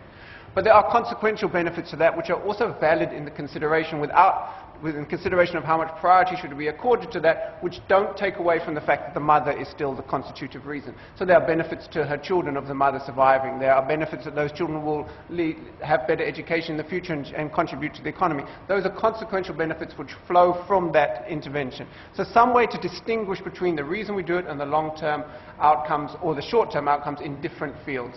And now what you do then in terms of deciding what to include opens up a big debate about how much you can include. And we try to frame our approach as less value-based, but in fact it's very value-based because we have to decide what goes into that vector. What, what is legitimate to consider when looking at outcomes? And that's actually a, a bigger question, and I think one which would, which would take some debate to think about who should be deciding what is relevant when evaluating whether or not one intervention is, um, is, better, than, uh, is better than the other. And then finally, to get to, sort of, to touch on the, the point of when is there enough information. When, you know, this is a question I battle with myself because I mean, I would say that, you know, there's been enough information for a long time. We know what to do. I mean, people have been bringing up children for quite a long time. Uh, it's been going on a while. Uh, and they generally have figured it out quite well. And, you know, there are countries in this world that have, you know, infant mortality rates of, of 1.6 uh, and have very little or no stunting due to nutritional reasons and have very good child development. We know what to do. That's not the question. The question is, do we do it, do we know how to do it cheaply enough for those who control the purse strings to be happy to spend that money? If we were able to give the resources, if we were willing to spend what it took, we could have dealt with this problem generations ago. This is not a difficult question, how to raise children. The question is, we believe it's valuable, others do not believe it is as valuable as we do, therefore we have to find a way to package it in a cheap form which would allow them to feel comfortable to spend the money to do that. And that then can be addressed in two ways. We can improve the information or we can change or try to change the values of those making the decisions. And so that's where the framing of that information becomes key. How can we get those who control the purse strings to think in the same ways that we can, that we do, so that they have a similar valuing for, the, for that. Because, you know, it's almost, you know, not to, you know, our, our dear friend Karl Marx made many mistakes in his, uh, in his thinking, but, you know, he often, he talked about the opiate of the masses being, being the church, but in many ways it's now us, the social scientists. We're trying to find the interventions which are cheap enough to keep those who are oppressed happy enough that they don't do anything radical.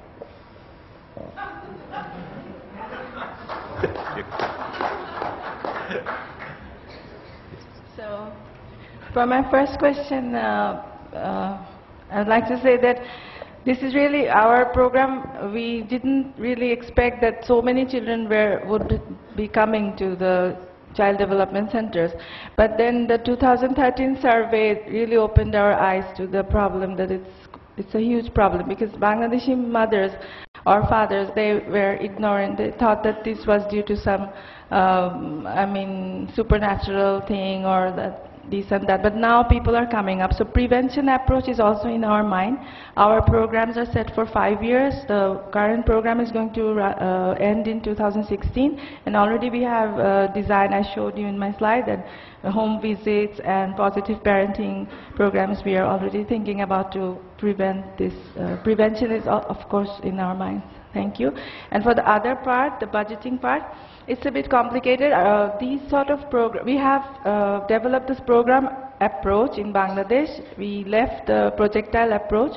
So the program approach now runs by the pool fund under uh, the development part of our budget. The pool fund, all the donors, they uh, give their money in the pool fund. We uh, spend the money from our government side, then they reimburse. And so when, when they reimburse, we have to go through our accountant general office, uh, following all our government financial rules, and that takes time and a lot of red tape activity. But uh, we also have an option of direct project aid. If someone is uh, willing just directly to aid the projects, we have one program right now run by UNICEF. It is the Women Friendly Hospital Initiative. They are directly uh, giving us the fund and we are giving the SOE to them, not through the government uh, process. So that makes it easier. That's why I'm, I told you that I, we are looking for some more direct donors who can fund us directly and so we can just uh, be accountable to them rather than going through the red tape of our it's a huge process.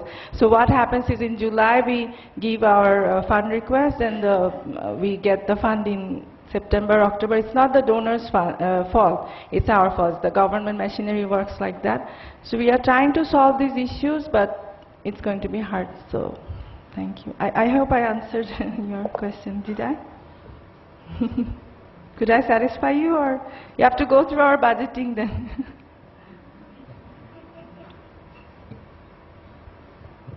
All right, uh, I'll open it to the second round of questions.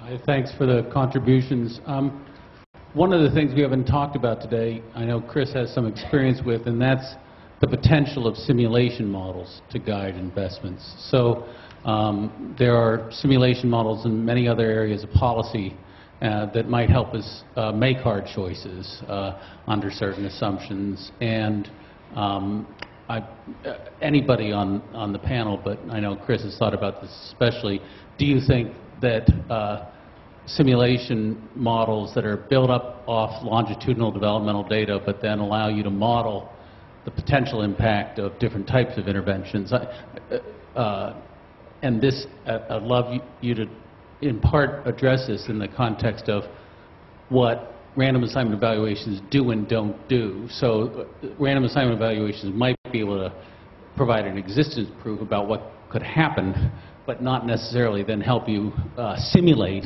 what, if at different levels of intensity and efficiency, you could make that happen at scale, what the returns on it would be.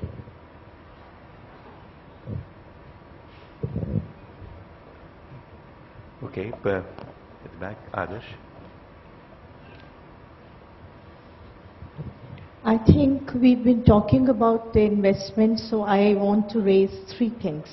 One, the funds are at time allocated, but there is such a financial flow of the funds is not following any discipline or any regulated process, with a result many funds, even in the developing countries, whether internal funds or given by the developmental agencies, remain unutilized. And I think this, this particular thing has to be flagged that the investment need to be really backed up with good financial discipline.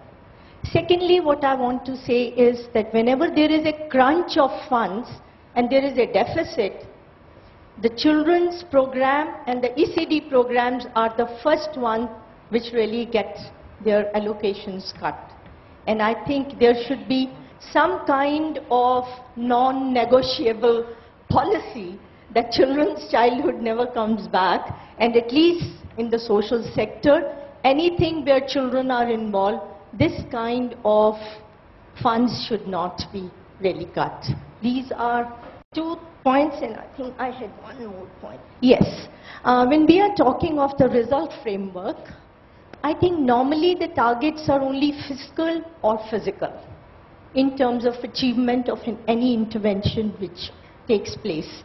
We never have really had the qualitative indicators which could really point to the right kind of outcomes, which really has to be based on very strong research, input, tools and everything. So I think the whole exercise of investment and result framework must be backed up with a robust kind of research investment so that we could really get the right kind of.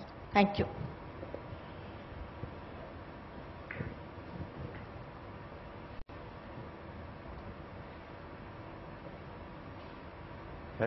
Okay, you want to answer?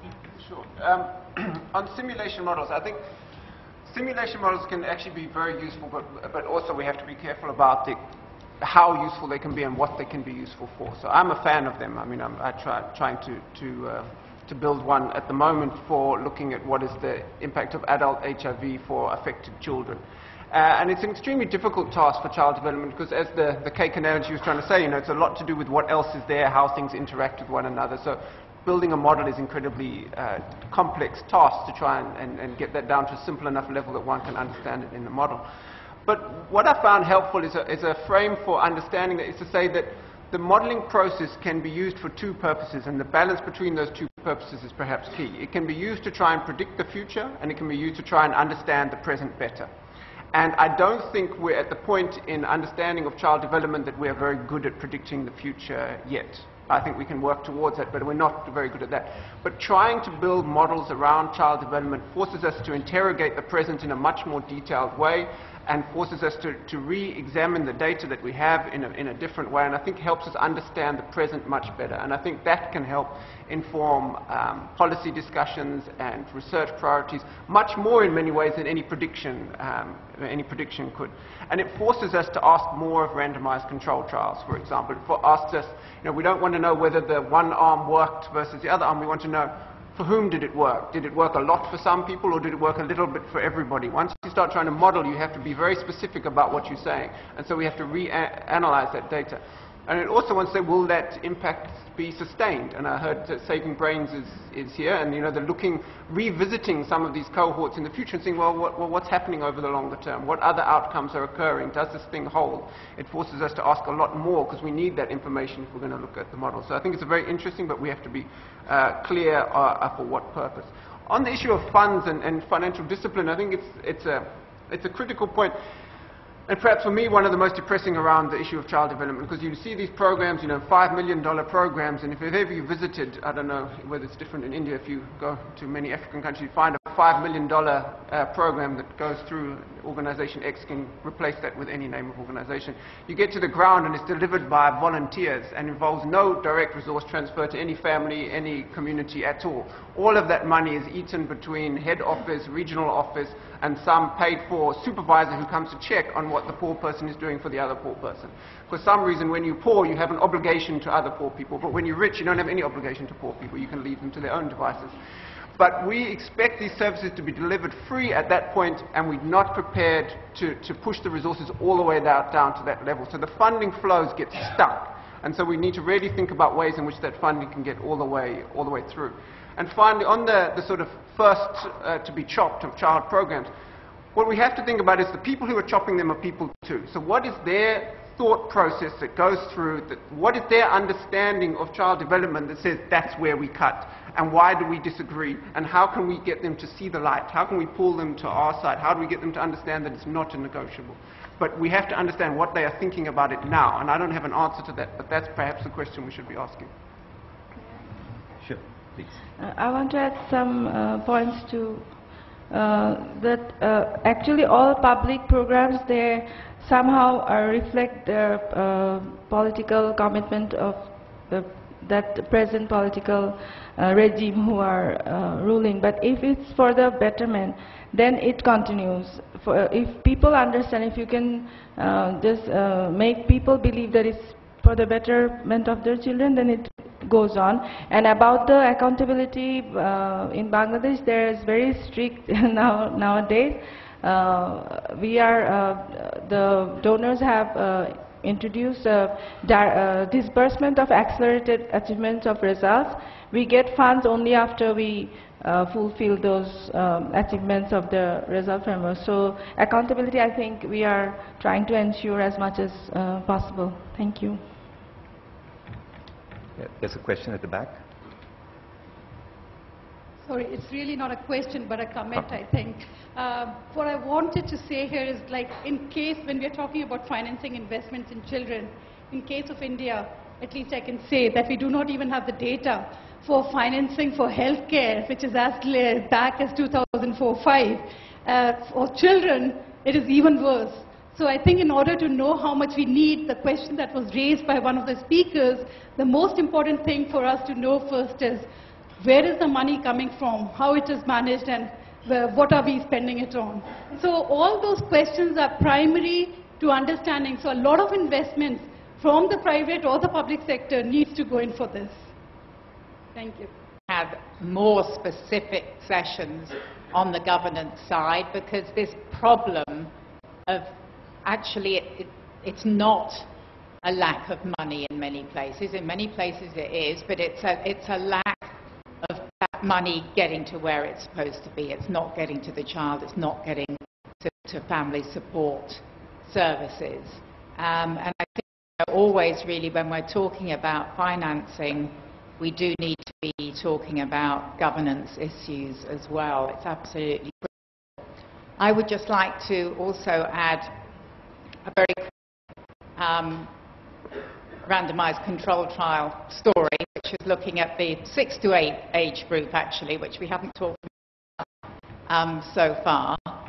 And uh, we, we uh, had a program which demanded a randomized control trial in a very, very short time period. So we were not this because we knew it was premature to do a study like that. But it was insisted upon, so it went ahead.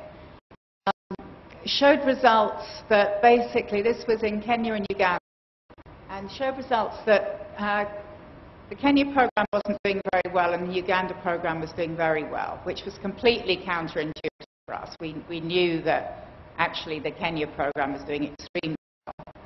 Um, then, about six months later, we had it was extraordinarily expensive, this RCT. Um, and then about six months later, we had a couple of uh, qualitative researchers and uh, ECD specialists go in and unpack a lot of what was going on. And that was where we got the learning from. Since then, has been ready to have a more sophisticated look at it. And I mean, sure enough, surprise, surprise, as the program became embedded, we were getting the results that we were. And that's, that's another piece we need to be very careful of with our research studies, the timing of it. Let's do it when there's actually something that we should be looking at rather than, oh, well, we've only got to a grant, so we've got to see if you've waved a magic wand and changed the world. Well, what a waste of money that is. Thank you.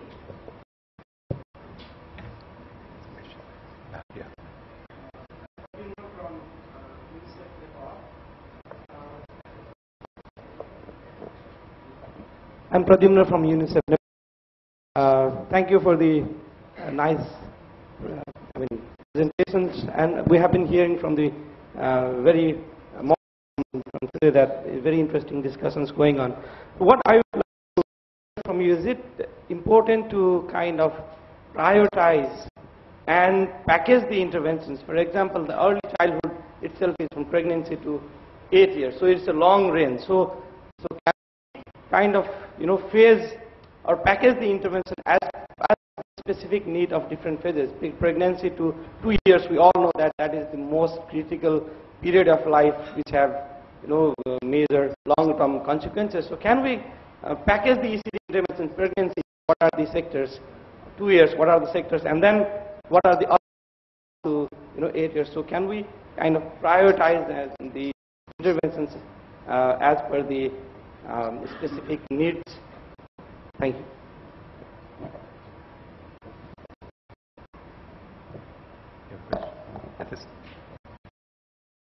Um, you know, I think it's important to package the intervention.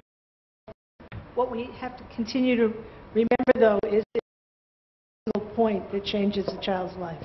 So that we have to be having continuity of services over the life course from adolescence to the early primary. That's what really early childhood development is about.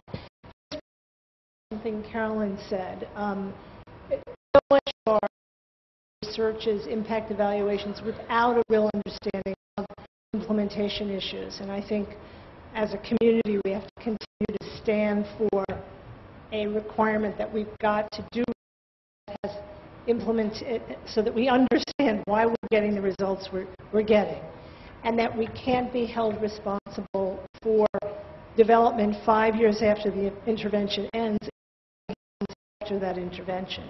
And I think, uh, you know, we're at, we're at risk of having that happen when we expect long-term outcomes of a single year of intervention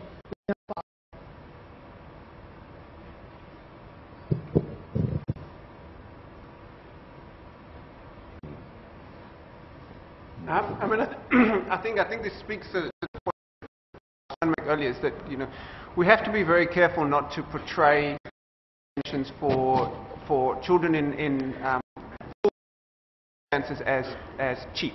It's not cheap to bring up a child anywhere, and children are expensive. What the research shows have high marginal returns to your investments in for circumstances. So if you have very little and you get something, you get a big change. Then we start imagining that the fact that we got a big change, that that, that so that it moved in the right direction, um, that it's enough, that it one services, additional supports, other things to be in place. This fine line from saying that, you know, with a little bit of resources, with a few resources, we can do a great deal. We need to be able to say that to get the resources flowing. Making the argument that all we need is a little bit of resources. So how do we walk that line between saying, actually we need a lot, but if you give us a little bit for now, we'll make a big difference. And so walking, I find it very back to this issue of framing and back to this issue of governance. Across the messages, I think we are fairly clear what we're trying to say. We're just not very good at saying it very clearly.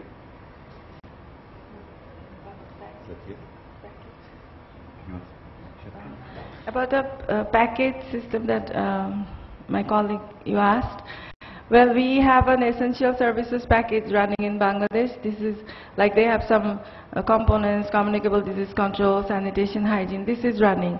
But to give emphasis, emphasis on the uh, MDGs, we have uh, prioritized the child development and uh, EOC, essential obstetric care for the mothers. So just to prioritize, it's better that you have some specific uh, programs too for uh, the, I mean, those are, who are vulnerable and needing.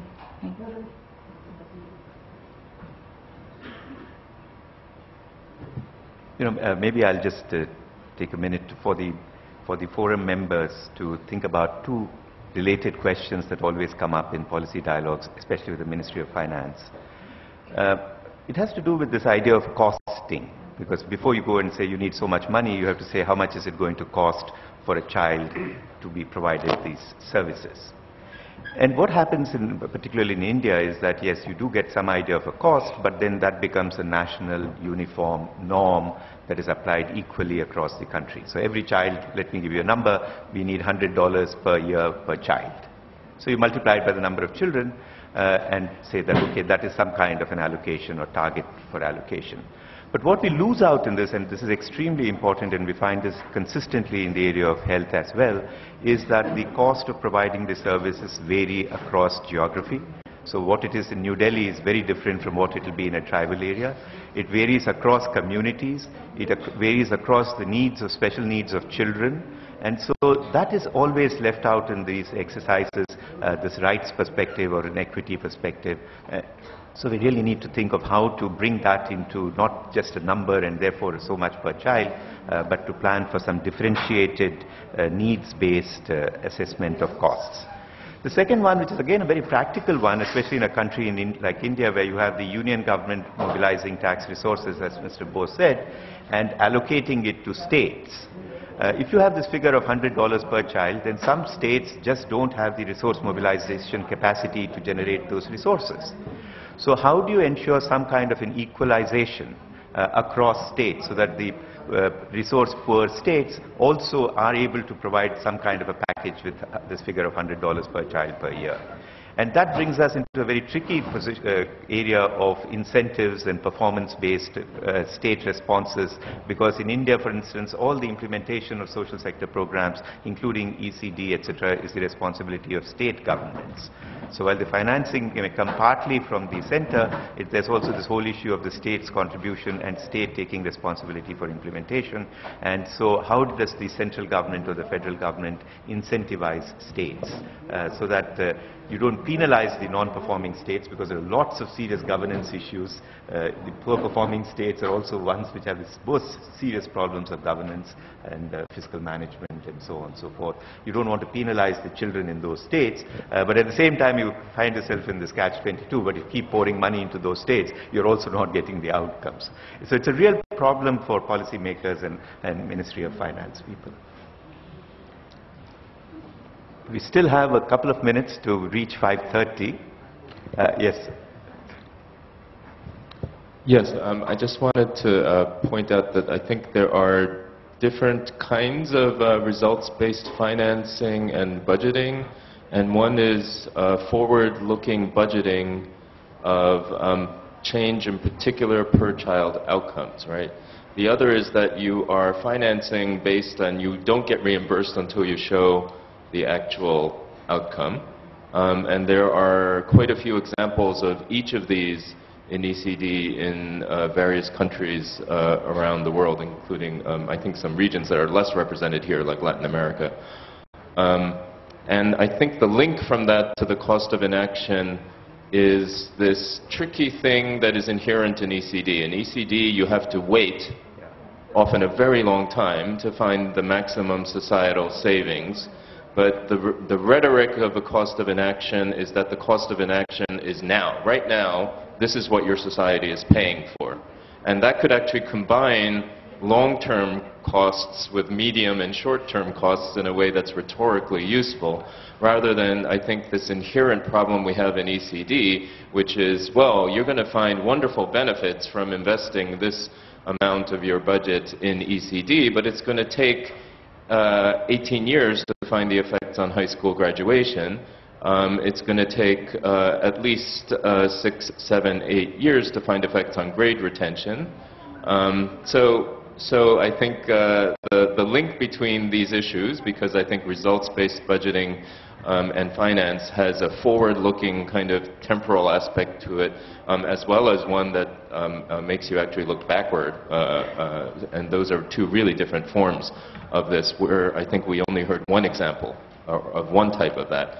Um, and, and then I think, I think these two themes in the panel are linked because of this, the paradox of how long you have to wait for many of the um, cost savings of ECD to become apparent. Yeah, that's one question.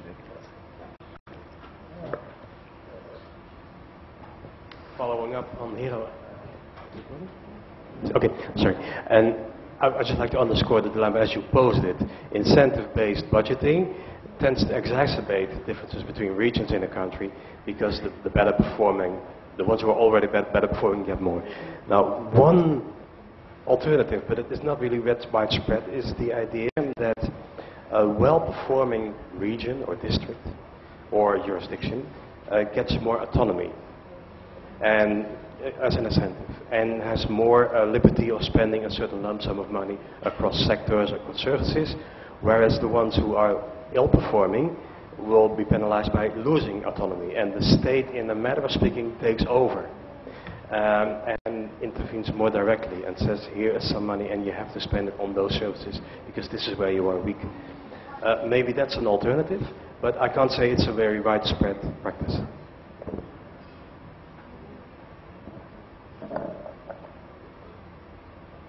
All right. Oh, sorry, Vinita, last question. It's uh, time over, but last question. And Yeah, um, I've just been reflecting on outcomes with respect to early childhood development. And the nature of outcomes is much more complex than, say, with education or with health, uh, independent of, uh, independently. So uh, when one thinks in terms of the outcomes for early childhood development, they are very interdependent in terms of different uh, sectoral inputs that are going to be responsible for those outcomes. And the financing is always very sectoral. So I mean, there's that dimension of it also, that when, we make, when we're talking about outcome-based financing, uh, we are talking about accountability perhaps, we are talking about uh, a reference point against which we finance or, or, or don't finance, and who do we hold responsible? Because it is, I think it's a very complex uh, kind of a context in which we have to do this uh, assessment. Good. So that brings us to the end of the session. Let me thank uh, Chris and Ashrafi for two fantastic presentations and the audience for asking very good questions and making this, uh, since I'm moderating, one of the best sessions of the day. thank you. Thank you very much.